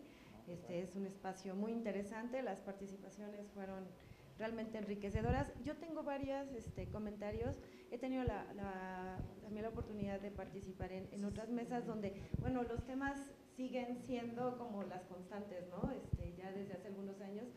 Eh, este, me parece muy importante lo que menciona este, Guillermo Velasco sobre la creación de un instituto metropolitano, que es urgente, ¿no? la, necesidad de, de, un, de, de una institución que tenga este, jerarquía y que, logre tener, este, integrar políticas este, en la zona metropolitana, no solo de planeación, como bien lo mencionó el doctor Navarro, sino también en la operación, por este, la cuestión de, que e, esto que mencionaba de, la, política de, dar, eh, de incrementar el costo a, vehículos este, de, lujo ¿no? en la tenencia, este, pues se puede adquirir un vehículo de lujo con placas del Estado de México y ya no paga. ¿No? Este, tenencia. Entonces, este, pues vamos, hay ahí algunas cuestiones que vale la pena este, como estandarizar, ¿no? O sea, vamos y, nos llevamos al Estado de México y ya, ya no pagamos, ¿no? Entonces, este, e, esa es una cuestión que, conviene este, resaltar. Eh, obviamente, la, mejora del transporte público, este, hay una cuestión que me pareció muy importante que mencionó la doctora María Eugenia, que es el, eh, eh, en la política, bueno, desde hace varias mesas, nosotros, bueno, yo planteaba siempre la, necesidad de controlar el crecimiento del parque vehicular. ¿no? Este, se planteó en alguna mesa con, el doctor Mario Molina y yo decía, bueno, en Japón ponen reglas, ¿no? No, no, prohíben comprar el vehículo, pero ponen reglas este, para adquirir vehículos, ¿no? Que, eh, y, en muchas mesas se dice, es que está bien que compren vehículos, pero que los dejen estacionados en sus casas. El problema es que las casas ya no tienen cochera, ¿no? Entonces, ¿Dónde lo estacionan? Pues en la calle. Y entonces nos resta espacio público y entonces se vuelve a privatizar el espacio público por parte del, vecino, ¿no? Entonces es necesario incorporar políticas realmente que, que permitan bajar el, consumo de, vehículos, ¿no? al menos en nuestra ciudad, ¿no? Entonces, e, ese, ese otro punto. Y este, hay una cuestión que me parece muy importante que mencionaba la doctora Connolly, que es, no sé si lo pronuncio bien, eh, que es este, sobre, eh, menciona sobre los estacionamientos. Eh, los reglamentos de construcción exigen, ¿no? Para, este, para cualquier edificio, pues que tenga un mínimo de estacionamientos. Hay muchos este, manuales que nos dicen cuántos deben tener, pero también la ley de establecimientos mercantiles. Pero también tenemos los planes parciales de desarrollo urbano. Y en los planes de parciales de desarrollo urbano podríamos, este, pues como amarrar la posibilidad de, que algunos establecimientos, en algunas zonas de la ciudad, por ejemplo, me voy a, bueno, si me permiten pensar en Coyoacán, donde, bueno, ¿dónde ponemos más estacionamientos? No? ¿Cómo le hacemos? Y entonces eh, generamos ahí políticas públicas que en determinado momento son incongruentes. Entonces, pues eso nos genera un problema. También tenemos establecimientos mercantiles que abrigados, arropados en esto de, que tienen más de 20 años de antigüedad y no tienen un estacionamiento, ¿no? Y entonces dicen, no, pues nada me obliga porque yo ya tengo 20 años operando o más de 20 años operando y mi antigüedad me, protege, ¿no? Entonces, y son situaciones con las que pues trabajamos en la ciudad, ¿no? Y, este, y bueno, es son mis comentarios. Este, muchas gracias. Gracias. Eh, Miriam pidió la palabra Andrés Bortagaray, director para América Latina del IBM. Por favor, Andrés. Gracias. Bueno, me sumo, me sumo a, lo estimulante que fueron todas las intervenciones anteriores y, el espacio rico de intercambio que, que abren y quería contribuir con, algunas primeras reacciones a lo que se dijo. Eh, de la primera intervención me parece la cuestión de poner al, ciudadano en el centro. Cuando se construye una infraestructura ferroviaria, una de las grandes ventajas que tiene frente a otras es que uno llega directamente al centro de las ciudades o a las zonas de mayor interés y puede salir a pie. Y si esa interfase, digamos, no fue bien pensada desde el principio, está sacrificando una de las grandes ventajas que, eh, que se tienen. Eh, creo también ahí en la cuestión de la gobernabilidad metropolitana mencionabas eh, cómo la gente despierta en un lado, va a trabajar a otro y vuelve, ¿no? Y creo que ahí hay un tema de cómo se plantean los derechos políticos, ¿no? En general los derechos políticos existen por el lugar a donde uno duerme y todos los que vienen lo tienen en su lugar de origen, pero no en el lugar a donde van. Algunos hablaban de la democracia del sueño, por, cómo se dan esos derechos y creo que es un tema también a, tratar. Y también, digamos, la cuestión de la institucionalidad metropolitana, que es un, gran tema en todas nuestras ciudades. El Gran París está en, en, pleno debate. Nosotros todavía estamos muy lejos de encontrarle la vuelta en Buenos Aires. Pero creo, digamos, atenuar un poco la, eh, expectativa en una gran institución que hay que tenerla, que resuelva todos los problemas y eh, mejorar los espacios intermedios de diálogo entre las distintas instancias de gobierno, las entidades que mencionabas como, eh, como una cuestión intermedia. De la segunda intervención me parecieron muy interesantes también las, las proyecciones, ¿no? y cómo eso nos lleva a pensar sobre el futuro. creo que era Warburg que decía que es muy peligroso hacer proyecciones, especialmente si son sobre el futuro, pero este, nos, estimula, nos estimula la reflexión y nos, creo que nos trae una reflexión sobre las consecuencias de las decisiones que se toman. ¿no? Y creo que sería interesante, además de verlas de población, la de eh, cuál es el, el, consumo de espacio que va a haber, ¿no? porque en general se ha desacelerado un poquito el crecimiento de población y se ha incrementado muchísimo la cantidad de espacio que consumimos con la cantidad de consecuencias eh, para los demás. Y de la tercera exposición, eh, también me generó una cantidad de reacciones, me pareció eh, muy estimulante. y, digamos, me pareció interesante relativizar dónde está lo público y dónde está lo privado, ser un poco cínicos, ¿no? pensar eso de un buen arreglo, si hay un arreglo sobre el bien o si hay un arreglo sobre el mal, mejor que sea un arreglo para algo que, este, que nos va a mejorar. Eh, pero eh, la, cuestión ahí es, eh, bueno, cómo, cómo, cómo, se pueden encontrar las formas, cómo se puede ampliar la base de información sobre lo que se está discutiendo. ¿no? Creo que en los 40 años que pasaban de aquel ejemplo, debería haber otro tipo de, instrumentos, no, siempre los hay, eh, pero me parece eh, que, ahí hay una cuestión. Eh, la cuestión también es quién hace lobby, ¿no? El lobby va a existir, el interés económico va a existir, la cuestión es cómo se procesa, cómo se filtra y, cómo, y cómo se reacciona y por qué, digamos, eh, eso lo veíamos en la conexión norte-sur de Buenos Aires. Durante 40 años eh, toda la industria de la construcción lo que había hecho era infraestructura vial y la cuestión ferroviaria estaba totalmente abandonada. Entonces nadie hacía lobby, digamos, por una alternativa ferroviaria en lugar de la, vial. Esas cuestiones me parece interesante tomarlas en cuenta. La, definición inclusive de, la eficiencia en el uso de los recursos, cómo uno pueda llevar ese debate eh, eh, más adelante.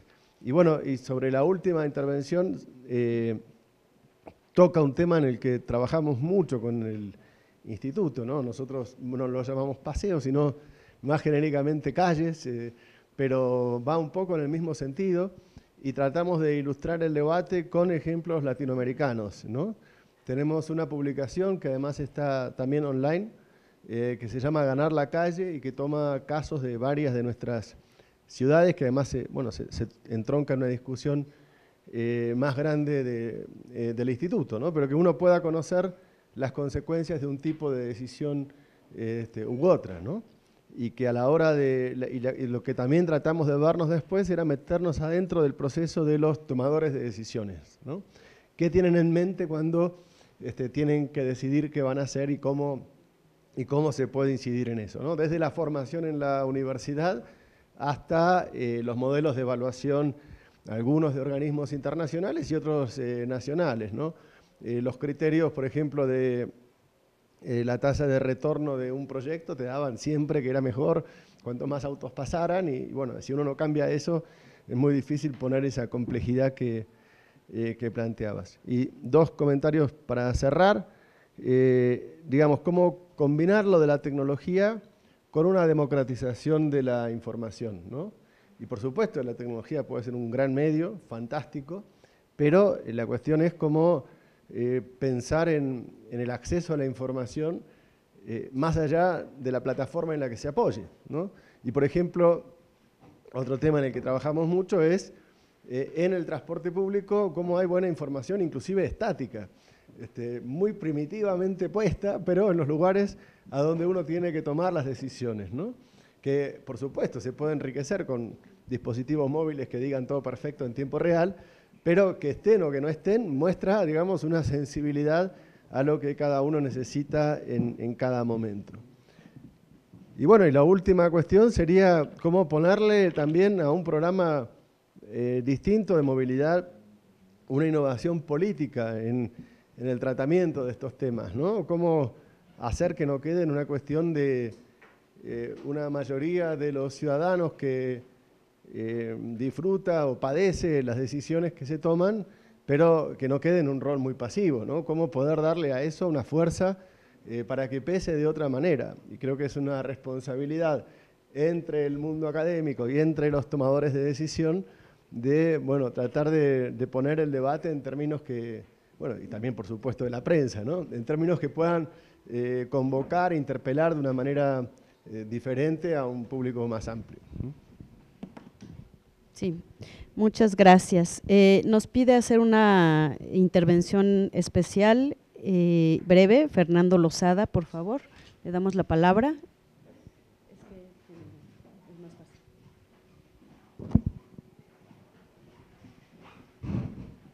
Muchas gracias. ¿Se oye? Bueno, se oye, pero no sé si se graba. Ah, ok, perfecto.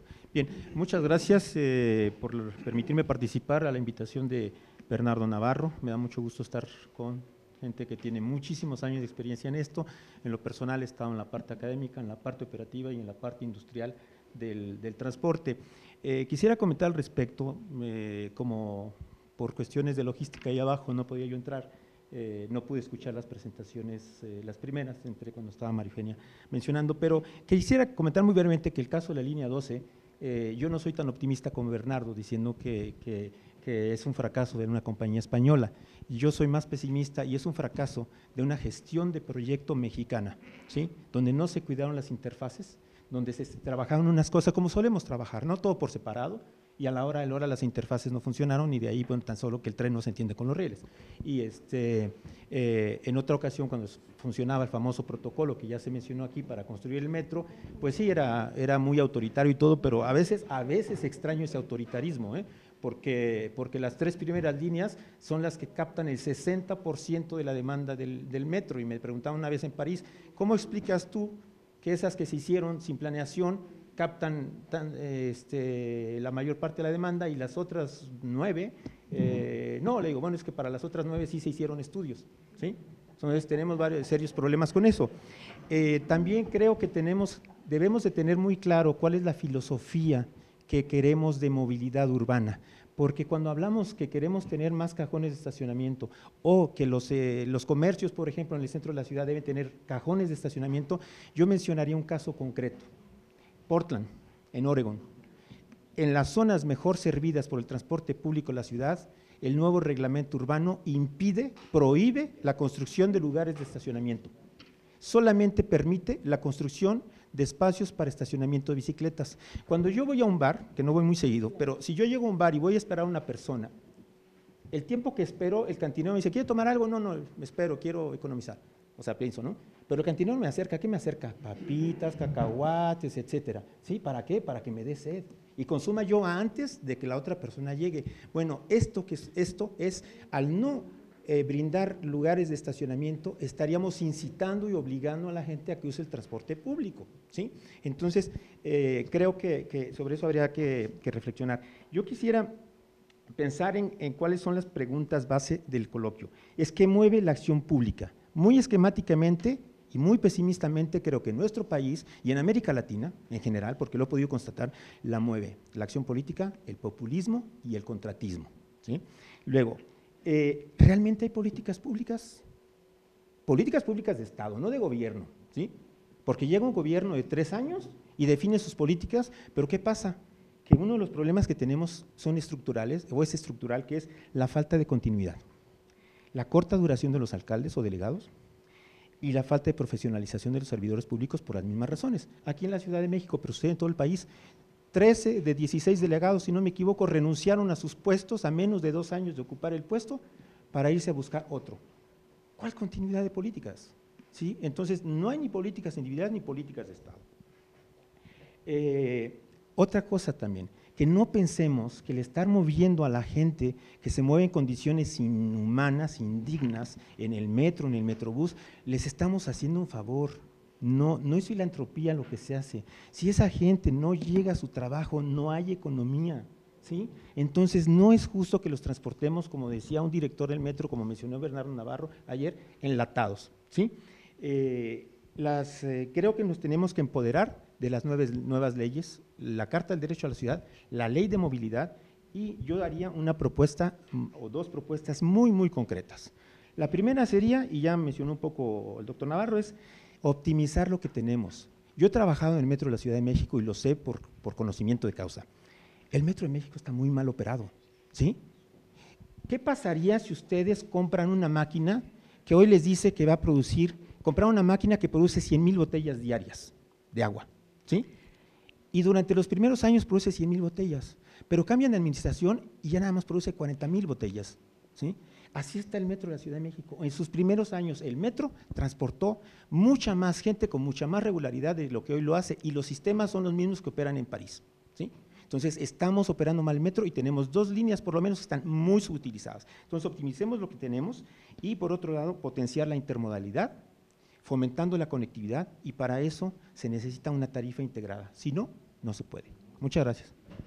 Eh, gracias, eh, Fernando Lozada. Hay una lista, voy a decir el orden en el que tengo apuntado, eh, apuntados, por favor, las participaciones. La diputada Claudia Cortés, después Guillermo Velasco, eh, Bernardo Navarro, Priscila Connolly, Oscar Terrazas y Miguel Ángel Velázquez.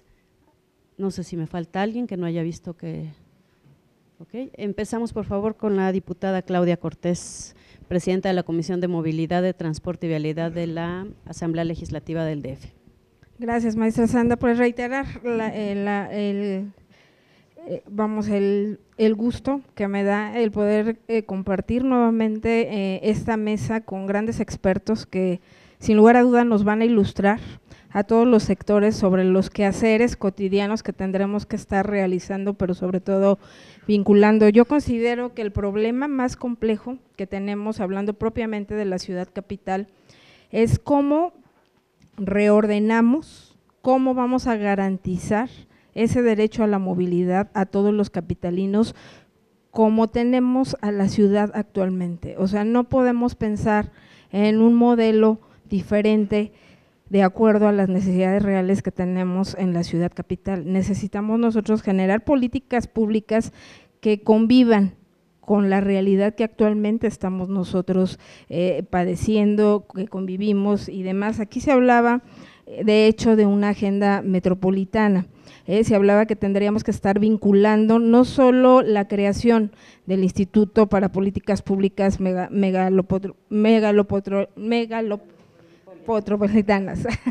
Eh, en, ese sentido, tendríamos que estar vinculando una agenda con el Ejecutivo local, y con el ejecutivo eh, y con el legislativo, pero no solo de la ciudad capital, o sea, necesitamos generar una agenda metropolitana que haga que algunas cosas que se están planteando actualmente en el Distrito Federal con la reciente creación de la Ley de Movilidad pues puedan también ser homologadas para que logremos avances no solo a nivel Distrito Federal, sino que la zona metropolitana realmente pueda tener una funcionalidad que actualmente no se tiene, pero para ello es importante generar esa agenda que esté vinculada con los poderes de las distintas entidades federativas que conforman la zona metropolitana para que podamos realmente el legislativo homologar normas jurídicas que coincidan en dichas políticas públicas. Y a nivel ejecutivo local que se puedan ejecutar los programas y las acciones, pero también con esa visión metropolitana que realmente nos ayude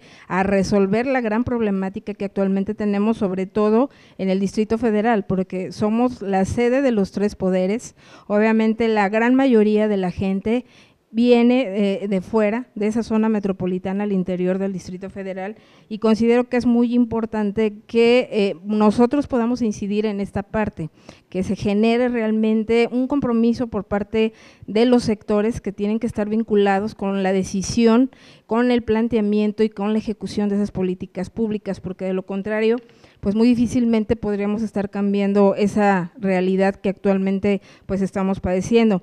Compartir con ustedes que nosotros en la reciente ley de movilidad estamos planteando la creación de un consejo asesor de movilidad, precisamente para evitar lo que comentaban la mayoría de los ponentes que el día de hoy eh, compartieron con nosotros sus experiencias o los estudios que han realizado. A veces nos perdemos, el ejecutivo local tiende a ejecutar políticas públicas o algunos proyectos y acciones que no están vinculados ni con estudios ni con análisis diagnósticos que nos permitan ver con claridad cuál va a ser el impacto ambiental, cuál va a ser el impacto que va a tener a nivel social y que consideramos es importante que el Ejecutivo pueda trabajar de la mano con ese Consejo Asesor de Movilidad que le permita discutir temas ya con, un, un, estudio que sea fundamento para no funcionar, obviamente como lo comentaban, con coincidencias o con ocurrencias o que llegan diferentes cambios de administración y la gente eh, de manera estática frena los avances que se han venido dando en las cuestiones de movilidad, que yo considero que aquí tendremos que estarle dando pues esa continuidad que desafortunadamente no se le da ese considero que es un gran avance que ya tenemos para este nuevo cambio de paradigma que estamos nosotros planteando en el Distrito Federal. Hablábamos o todos coincidían los ponentes en que tenemos un uso acelerado del automóvil, pero para poder invitar al ciudadano a dejar su auto en casa, pues necesitamos fortalecer los modos de transporte, que es el transporte público, y ahí tendremos que estar generando todo un cambio de profesionalización para que el servicio sea más eficiente, sea efectivo, sea sustentable, pero también seguro para la ciudadanía, que es yo creo que el más grande de los retos que tenemos actualmente en el Distrito Federal. Muchas gracias, eh, diputada. Es el turno de Guillermo Velasco.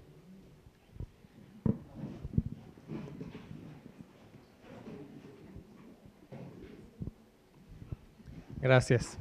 Tengo muchas cosas que decir, entonces voy a tratar de ser muy puntual en todas. Primero suscribo lo que Fernando comentaba ahorita de que hay que optimizar lo que, lo que ya tenemos y aprovechar la multimodalidad. Y en cuanto a la tarifa integrada, que aquí serían buenísimos luego los comentarios de, de Daniel, porque creo que él tiene mejor conocimiento de causa que, bueno, por lo menos que yo. Este, yo lo que tengo en mi mente es que si seguimos con la política de que cuando yo me subo al camión pago, le pago mi tarifa al camionero y el jefe del camionero le da un bono según la cantidad de gente que sube, entonces hay un incentivo, si yo fuera el camionero yo tengo un incentivo de pararme cada vez que alguien me levanta la mano. Cada vez que alguien me levanta la mano es dinero extra y es acercarme más al bono o a un mejor salario que yo tengo cambio, si tienes una tarifa integrada y te subes con tu tarjeta y tu bono va contra la puntualidad en pegarle a las estaciones paradas, si alguien te levanta la mano a la mitad de un, pues no te paras, ¿no? Entonces tú cumples con un servicio de calidad. Eso desde afuera, que sería muy interesante luego que Daniel nos comente cómo es la realidad, como dice la, la diputada, y si es algo que pueda ser posible. Luego hemos hablado mucho de Francia, desde de varias presentaciones. Y yo creo que es un buen ejemplo porque Francia tiene agencias regionales de movilidad. Por ejemplo, este, tiene N cantidad de municipios, lo que nosotros llamamos la ciudad de París, ¿no? Pero tiene una agencia regional de movilidad que es la que lo controla. No es de que cada municipio se le ocurre dónde hace los paraderos y este, cada, cada estado dice cuántas concesiones. No, estos cuatro se organizan y este, y lo hacen de manera regional, obtienen sus recursos de cobrarle a la gente, si no mal entiendo, es como el equivalente al impuesto sobre la nómina, un tipo 2 o 3%, todo el mundo lo paga porque es un servicio público. De hecho, interesante porque los franceses consideran el transporte público estructurado como un servicio público básico, como nosotros el agua y el drenaje. Tienes que llevar agua y drenaje, estos cuatro dicen tienes que haber líneas de transporte público estructurado. Coincidí con Fernando por allá y nos llevaban a un lugar en donde iban a desarrollar un nuevo segmento de ciudad. Básicamente están aprovechando el espacio aéreo arriba de, la, de una estación de ferrocarril y de vías de ferrocarril para construir una nueva ciudad. Antes de que estuvieran listos, o inclusive están en construcción los edificios, ya estaban listas las estaciones de, de metro y las paradas de transporte público estructurado. O sea, antes de que llegue la primera persona a vivir ahí, los trabajadores ya se mueven en transporte público estructurado porque es una forma este, de ver como un servicio básico. Entonces yo creo que es un tema que deberíamos nosotros de considerar aquí. Yo creo que México tiene que ser más socialista, ¿no? Este, no creo, y perdón, no quiero este, hacer este, ningún señalamiento, pero que no tenemos un gobierno auténticamente socialista. Un gobierno socialista es el que no privilegia los, la privatización de los servicios públicos, ya sea una persona o un conglomerado, sino que lo organiza como lo organiza el Estado francés. El Estado francés a todo mundo le cobra parejo porcentualmente, entonces si ganas más, pagas más, si ganas menos, pagas menos. Si lo usas, pues qué bueno, si no lo usas, de todas formas lo estás pagando. Y de manera regional controlan todo el sistema de movilidad de la ciudad por un tema social y también por un tema de competitividad, porque si no se mueve, si la ciudad no se puede mover, pues no puede ser competitiva, no puede haber economía. El tema de estacionamientos yo creo que, que también lo que más desincentiva el uso del auto es que o el estacionamiento es caro o no hay, porque si no, pues no hay de otra, tienes que moverte de, de otra forma. Aunque sea en la Ciudad de México, aunque sea así de, lo mínimo que podemos hacer es quitar la palabra mínimo de los requisitos de estacionamiento.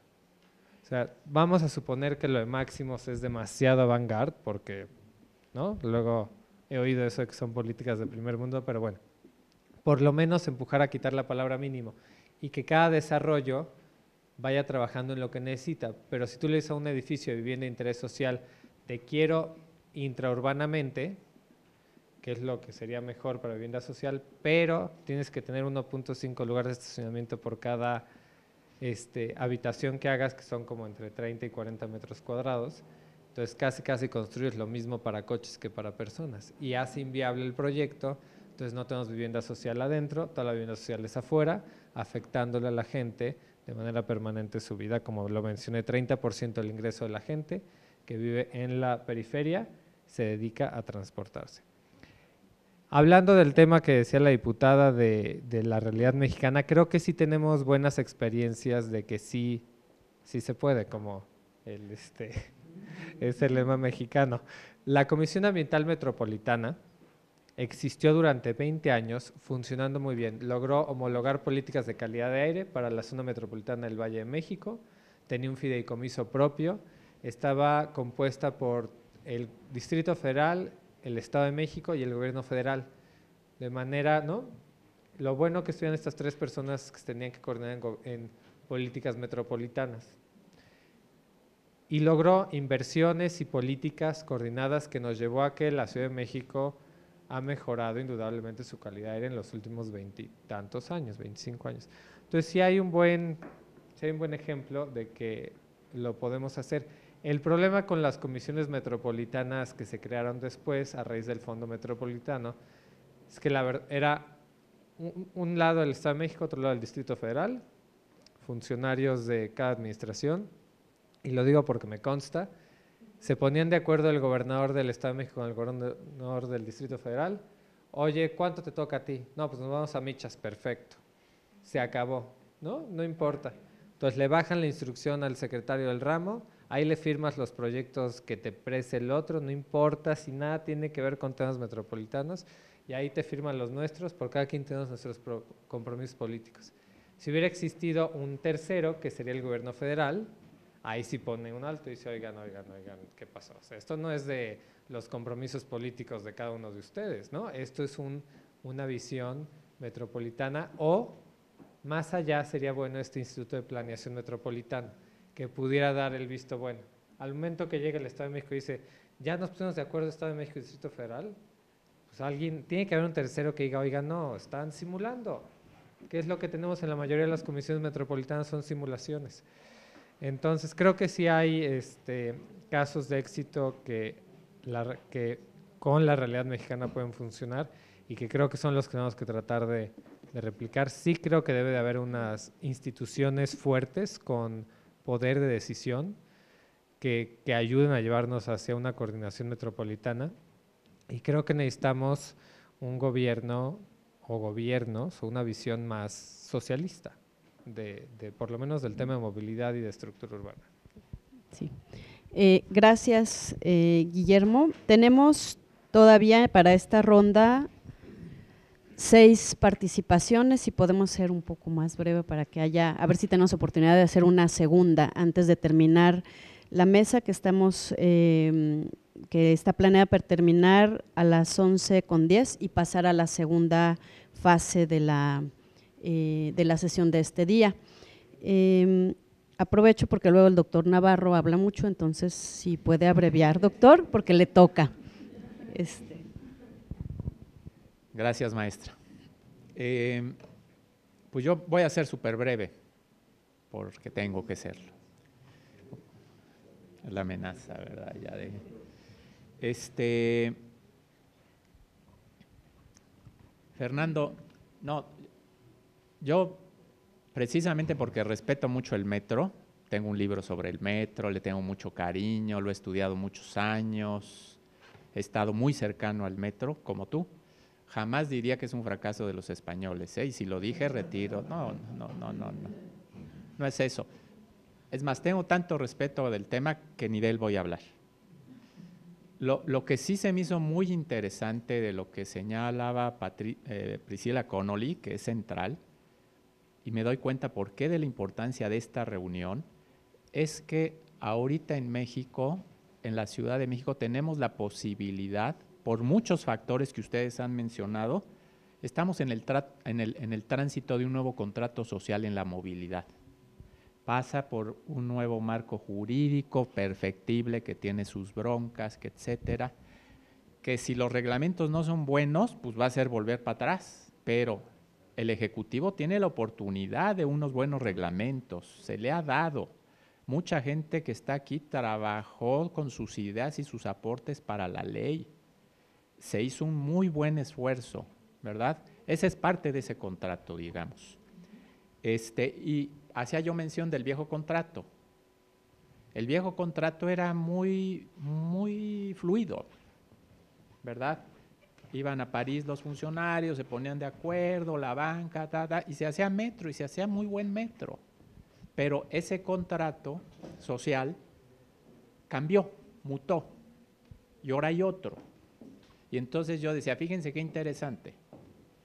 Sistra es magnífico, yo no lo cuestiono en nada, técnica y científicamente, y son mis amigos. Pero yo lo que digo es, ¿cómo en sabiendo que el contrato viejo era así, verdad? Se ponen a juzgar a los propios españolitos, que son un tallerzote de construcción, ¿verdad? Sistra, que es un gigante. O sea, no se le ocurrió a un funcionario traer a otra consultora internacional, ¿verdad? No, para que nos diéramos cuenta de esto, de los contratos, cómo son, ¿no? En, contrato social, quiénes son los agentes que están interviniendo, etcétera. Bueno, eh, yo coincido con muchas de las cosas que dijo Guillermo, pero creo que esta idea del contrato social ilustra muy bien, Guillermo. La, la CAM funcionó por muchas razones, en que tú dijiste varias. Fíjate, ni siquiera la Cometravi es es contemporánea y funcionó muy bien cuando había presidencialismo. ¿verdad? ¿Por qué el gobierno federal no está? Porque en el nuevo presidencialismo del PAN dijeron nosotros no estaremos. O sea, increíble, contraviniendo la ley, ahorita podríamos hacer, pedir un juicio político por eso, pero así lo hicieron. Absurdo, ¿sí? necesitamos un nuevo contrato social para la coordinación metropolitana de la movilidad. Es absolutamente, es absurdo que no exista. Sí, acabo, acabo con ese menester. Con algo que presentaba Oscar, ¿no? que, a, Miguel Ángel le va, le va a interesar. Eh, yo creo que, en estos corredores, con lo que tú presentabas de París y podríamos ver Barcelona y otros lugares, eh, hacer nuevas alternativas y corredores para todos no debe ser tomar la moda internacional a lo chato y tenemos que hacerlo con mucha imaginación y adecuado a nuestra realidad, ¿verdad? Aquí cerca tenemos un bulevar simpático, Nuevo León, que recibió la herencia pues, de la condesa, etcétera, de la ampliación, y hicieron una ciclopista de un carril y las bueno, pero antes impulsó como corredor gastronómico, cultural, etcétera, etcétera, y que Daniel te cuente. Tú bajas a un pasajero ahí y lo atropella el de la bicicleta, porque no hay lugares para que bajen los usuarios del transporte mayoritario. Pasan cuatro bicicletas y una de esas cuatro atropella al que se baja del transporte colectivo. Nada más hay una bahía. En un lugar te dicen, aquí va a haber el transporte colectivo, crees por el junior, ¿no? Más o menos, y tenga usted cuidado. Todo lo demás tienen que ser saltadores de percha, ¿verdad? O sea, ¿por qué? ¿Cómo, se nos ocurrió eso? Cuando, si tú ves París o Barcelona, pones un pequeño camellón que te dé la oportunidad que se baje. ¿Tiene el ancho Nuevo León? Lo tiene, ¿verdad? Este, tenemos que tropicalizar eso. ¿no? Tenemos que pensar de acuerdo a nuestra realidad. Perdón, maestro. Sí, gracias. Discúlpenme, pero es que me toca este trabajo malo. Eh, es el turno, por favor, de la doctora Priscila Connolly, después Oscar Terrazas, sigue Miguel Ángel, Daniel Medina y Rocío Mejía. Gracias, Sandra. Este, voy a tratar de ser breve. Eh, primero, comentaré sobre mi esquema de arreglo, eh, que, tiene un doble sentido, evidentemente. En, español, bueno, por lo menos el español de América Latina, arreglo tiene una connotación mala que implica un poco la corrupción, el dinero por debajo del agua, que por desgracia aquí y en todos lados, no, no solo aquí, las obras públicas no, no necesariamente tienen mucho de esto, ¿no? Lo vemos en todos lados.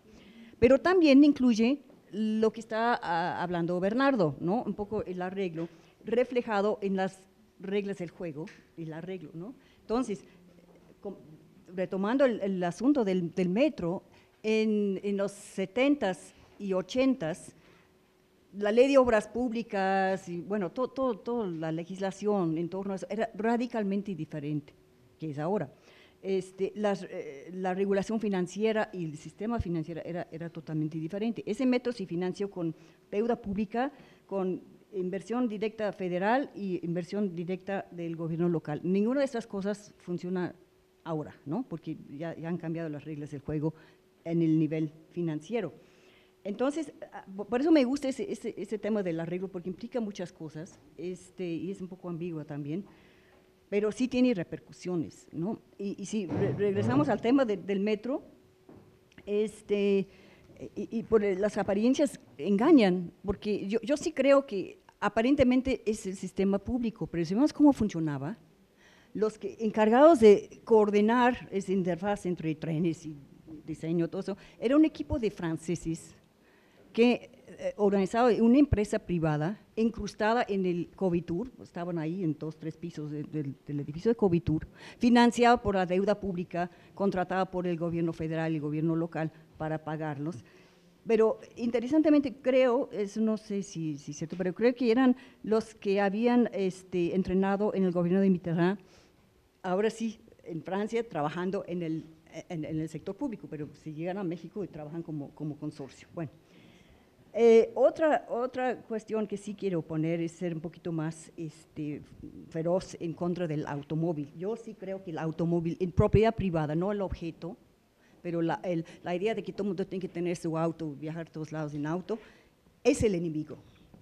¿Y por qué fue tan exitoso el, la Comisión Metropolitana de Medio Ambiente? porque tenía toda la fuerza del sistema automóvil, incluyendo la tecnología de la industria automotriz y la tecnología de la industria petrolera, que permitía que se pudiera este, implementar, hoy en circula, este, convertidores catalíticos y todo eso. y además, todo el resto del mundo estaba haciendo más o menos lo mismo. Había también un consenso en cuanto al problema de la contaminación ambiental, que, había una legitimación ahí a nivel. Entonces, el automóvil tiene que ver con el éxito de esta comisión y el fracaso de los otros, este, ¿no? Eh, yo sí creo, eh, ¿por qué el automóvil es el enemigo? Em, es cierto lo que dice Oscar, hay, hay espacios privados y espacios públicos en, propiedad. El problema es que uno cuando compra un automóvil piensa, el, el, el contrato social es que compras el automóvil y compras el derecho con el precio del automóvil, no por otra cosa, de manejar a cierta velocidad, ir a todos lados y llegar a, a 10 metros de donde quieres estar. ¿no? Y tengo el derecho también de estacionarlo en la calle. Y si me quieren poner parquímetros, me opongo porque el espacio público es de todos y todo ese tipo de cosas. Eso, eso es el consenso actual. ¿no? ¿Cuál es el problema? Es que los académicos, los tomadores de decisión, todos los involucrados en el manejo del asunto de la movilidad, están estamos totalmente insertos en el sistema automóvil. No, realmente no podemos imaginar cómo vivir en la ciudad sin el automóvil. Yo no, no voy a hacer la encuesta, pero quiero que se levante, bueno, podemos hacerlo después, ¿no? ¿Quién todos los días se mueve en transporte público en esta ciudad, en esta mesa? ¿No? Porque si no, si no se tiene esa experiencia, ¿cómo, cómo, cómo se va a tomar decisiones al, respecto? ¿no? Em, y eso tiene que ver con los estacionamientos, desde luego.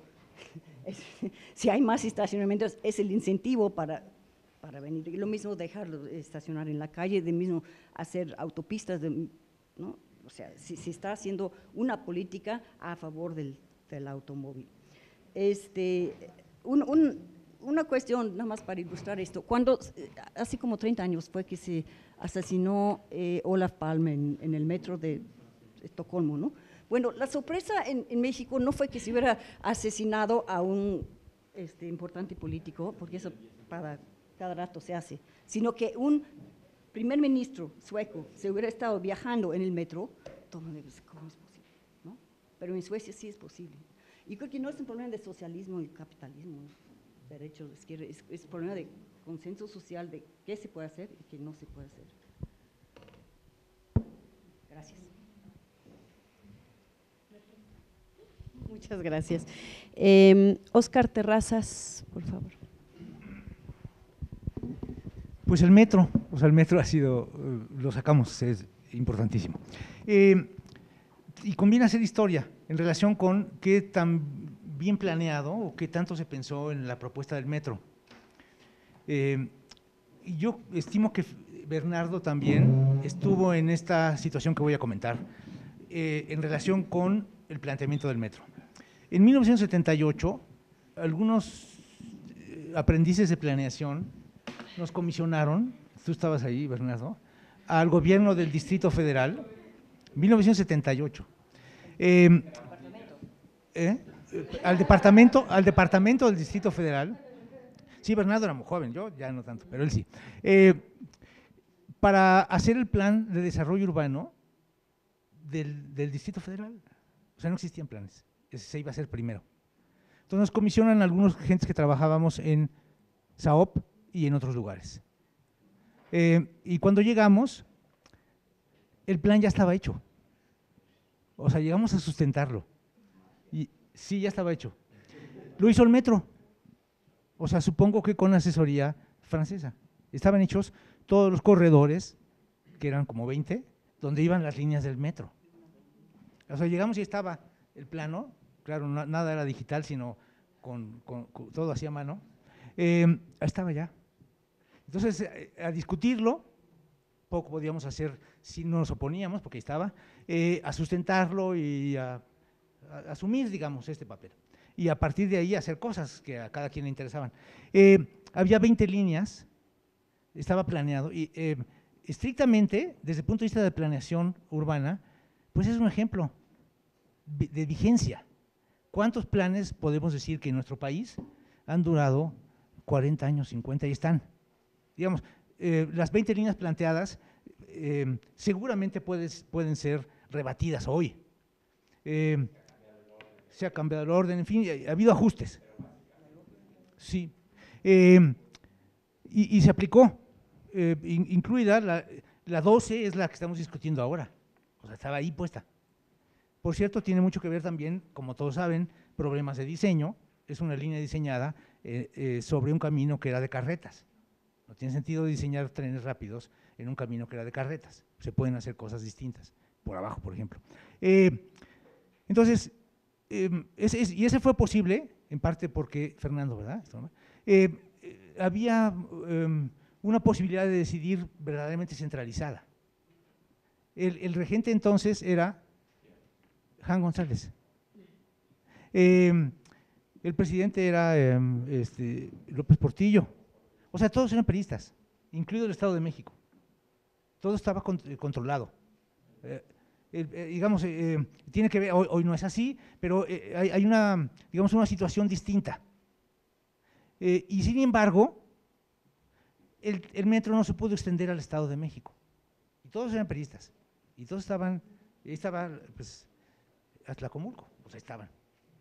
Eh, no se pudo extender porque el gobernador del Estado de México dijo que una instancia de otro estado no entraba en el suyo y no le iban a administrar nada, ni las movilidades, ni nada que tuviera que ver con eso, ni supongo obras, contratos y arreglos de una instancia que era de otro estado. Y entonces no entró el metro. Y vino a gobernar el DF, sí y eran del mismo partido. y había arreglos y todo. Eh, eh, digamos, es interesante. Esto hoy conviene a veces hacer un poco de historia, los más viejos podemos hacerlo, en, el sentido de, de las posibilidades de acción en México. Sí, claro que sí. Eh, eh, toca la participación que ha pedido Miguel Ángel Velázquez. Bueno, gracias, gracias Bernardo, gracias a ustedes. Nosotros los que nos dedicamos a observar lo que ustedes regularmente estudian y analizan, de pronto nos encontramos, eh, más bien caemos en las provocaciones como las que nos hace Bernardo para tratar de explicar lo que vemos desde, desde el punto de vista del periodista. Eh, me llama la atención que sea tan localizada la crítica si es el metro porque los españoles eh, no, no, funcionaron bien o los mexicanos no saben hacer las cosas. Creo que es una cuestión de política general. Se llama neoliberalismo y ha marcado la vida de muchísimos, no nada más en nuestro país, en el mundo. Creo que sería muy injusto plantear que el metro no funciona porque se le abandonó.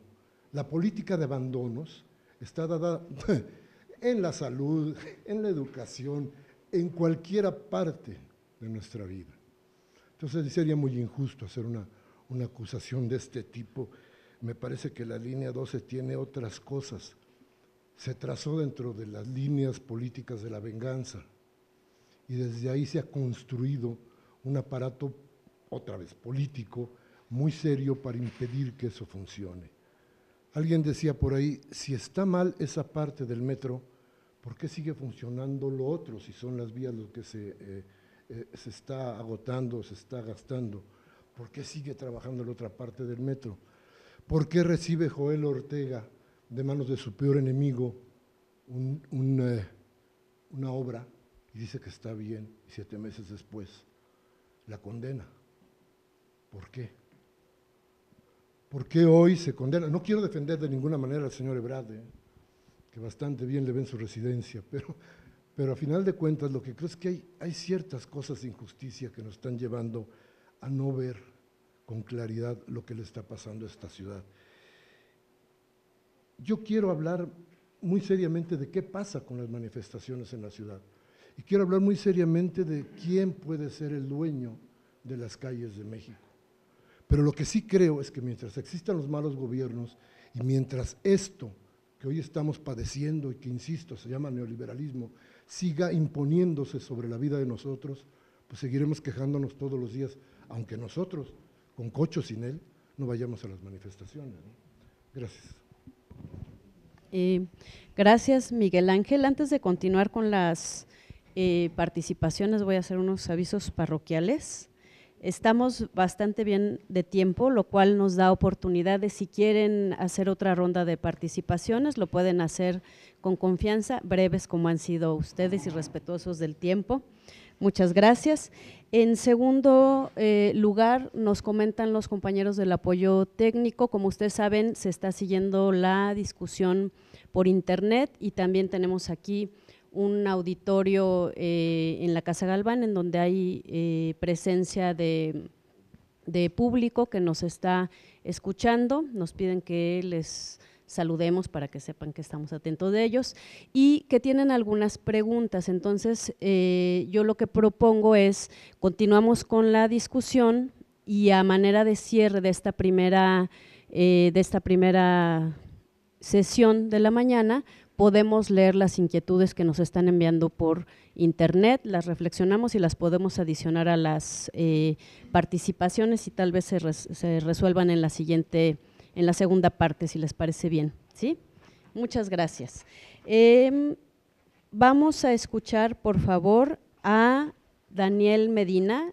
Le agradecemos mucho que venga. Él es representante de, em, de servicio de taxis y concesionarios. Entonces vamos a escuchar una cara de la moneda que nosotros desconocemos y que no estamos tan cercanos a ella. Muchas gracias por participar, Daniel.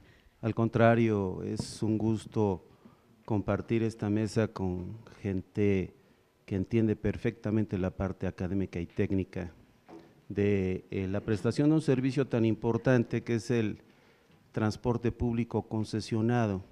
Si bien ahorita escuché intervenciones en función del PRO, voy a verlo así, del transporte subsidiado, que nosotros lo entendemos, ¿no? Uno de ellos pues es el metro.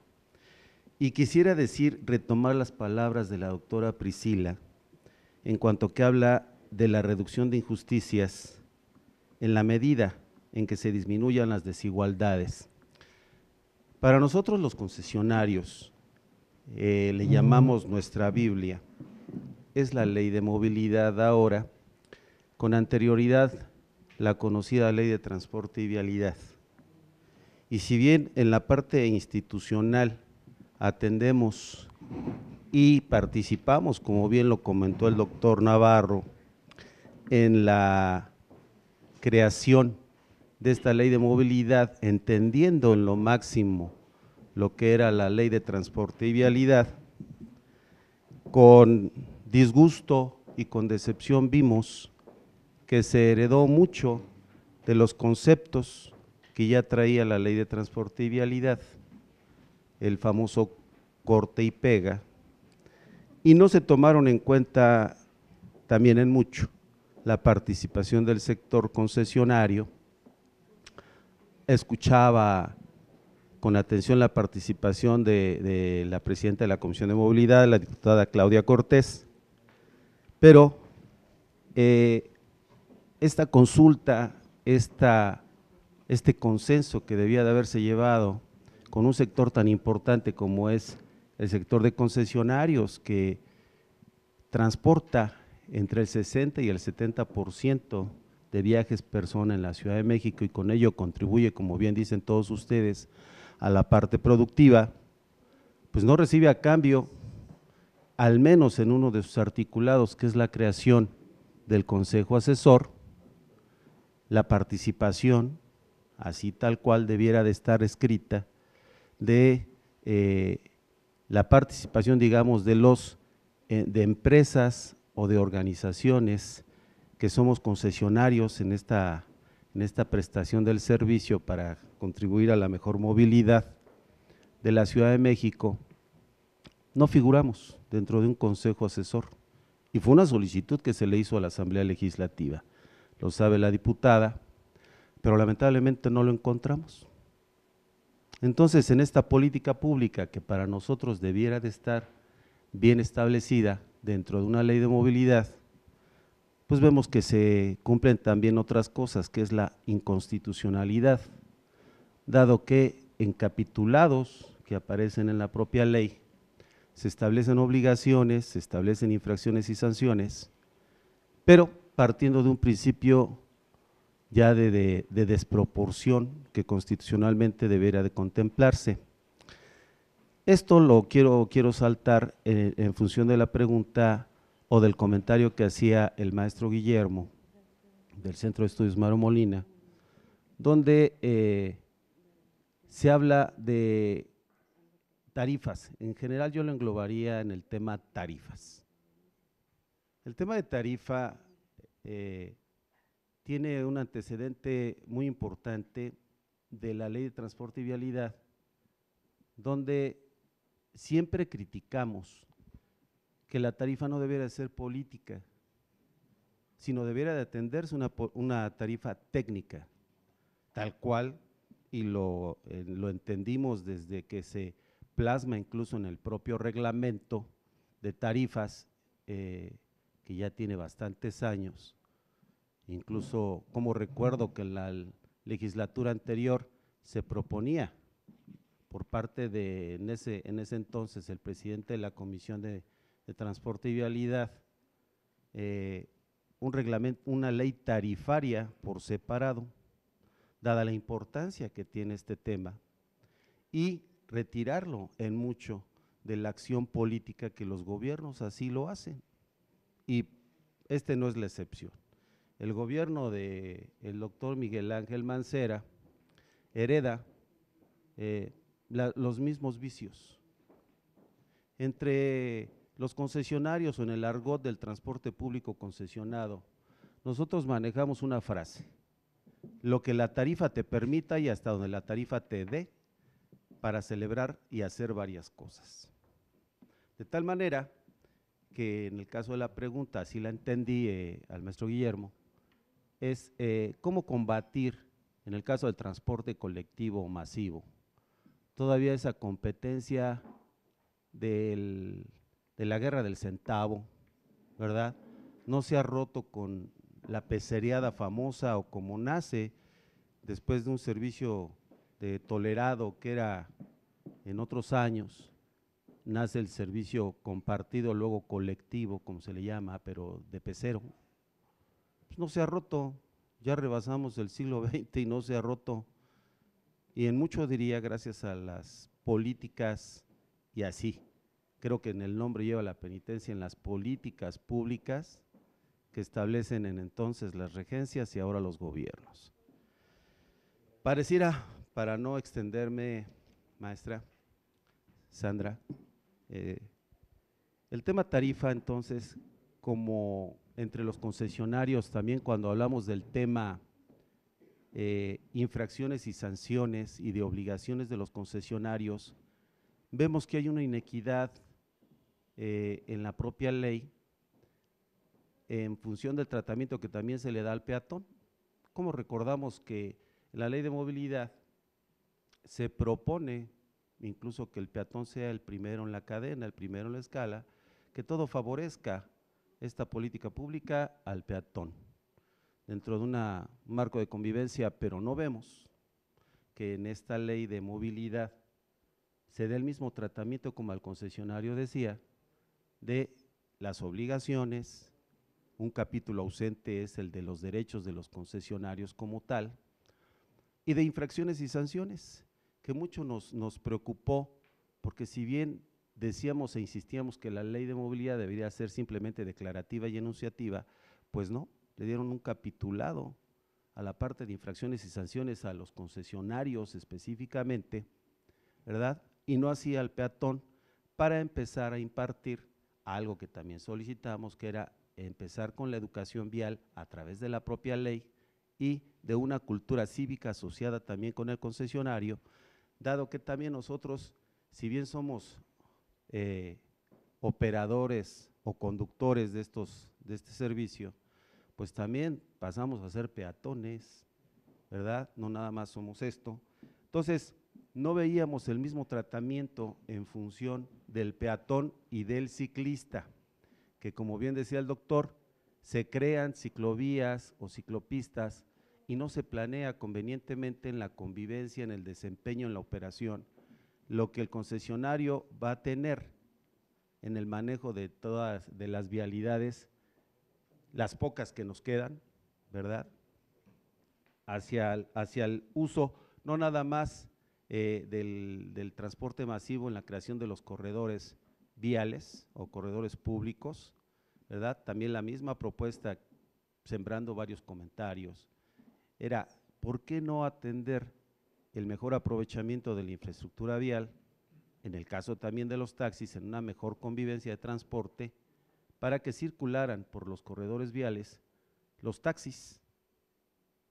Y lo dejaría de este tamaño para no extenderme, maestra, porque sí habría mucho que comentar en función de ese aprovechamiento de la infraestructura vial entre el mejor manejo en la ciudad para el transporte concesionado en sus dos modalidades, con y sin itinerario fijo, que ya sucede en otros países, en otras ciudades, para aprovecharlo de manera conveniente y tender después si me lo permiten, en la segunda ronda, a lo de eh, lo que ayer mencionaba y agradeciendo las palabras de los que intervinieron en la rueda de prensa en favor de los concesionarios, por aquello de las empresas eh, que quieren entrar de manera virtual, ¿verdad?, a prestar un servicio que a todas vistas aquí eh, es concesionado y ellos lo prestan de manera ilegal, no diría irregular con el respeto que me mereces, doctor, me parece que es un transporte ilegal a partir de que es una competencia desleal. Y espero haber contestado en algo y para el público que tenemos de, eh, en la otra sala, con gusto, si realizan preguntas para concesionarios, espero poder responderlo. Sí, muchas gracias, Daniel. Eh, no, tenemos cuatro participaciones más. Comentarles a ustedes, eh, les están sirviendo un almuerzo. No tenemos, la mala noticia es que no tenemos descanso entre las dos mesas. Eh, los servicios, si alguien necesita, están aquí abajo de el, en donde está el, el auditorio. La sesión de trabajo es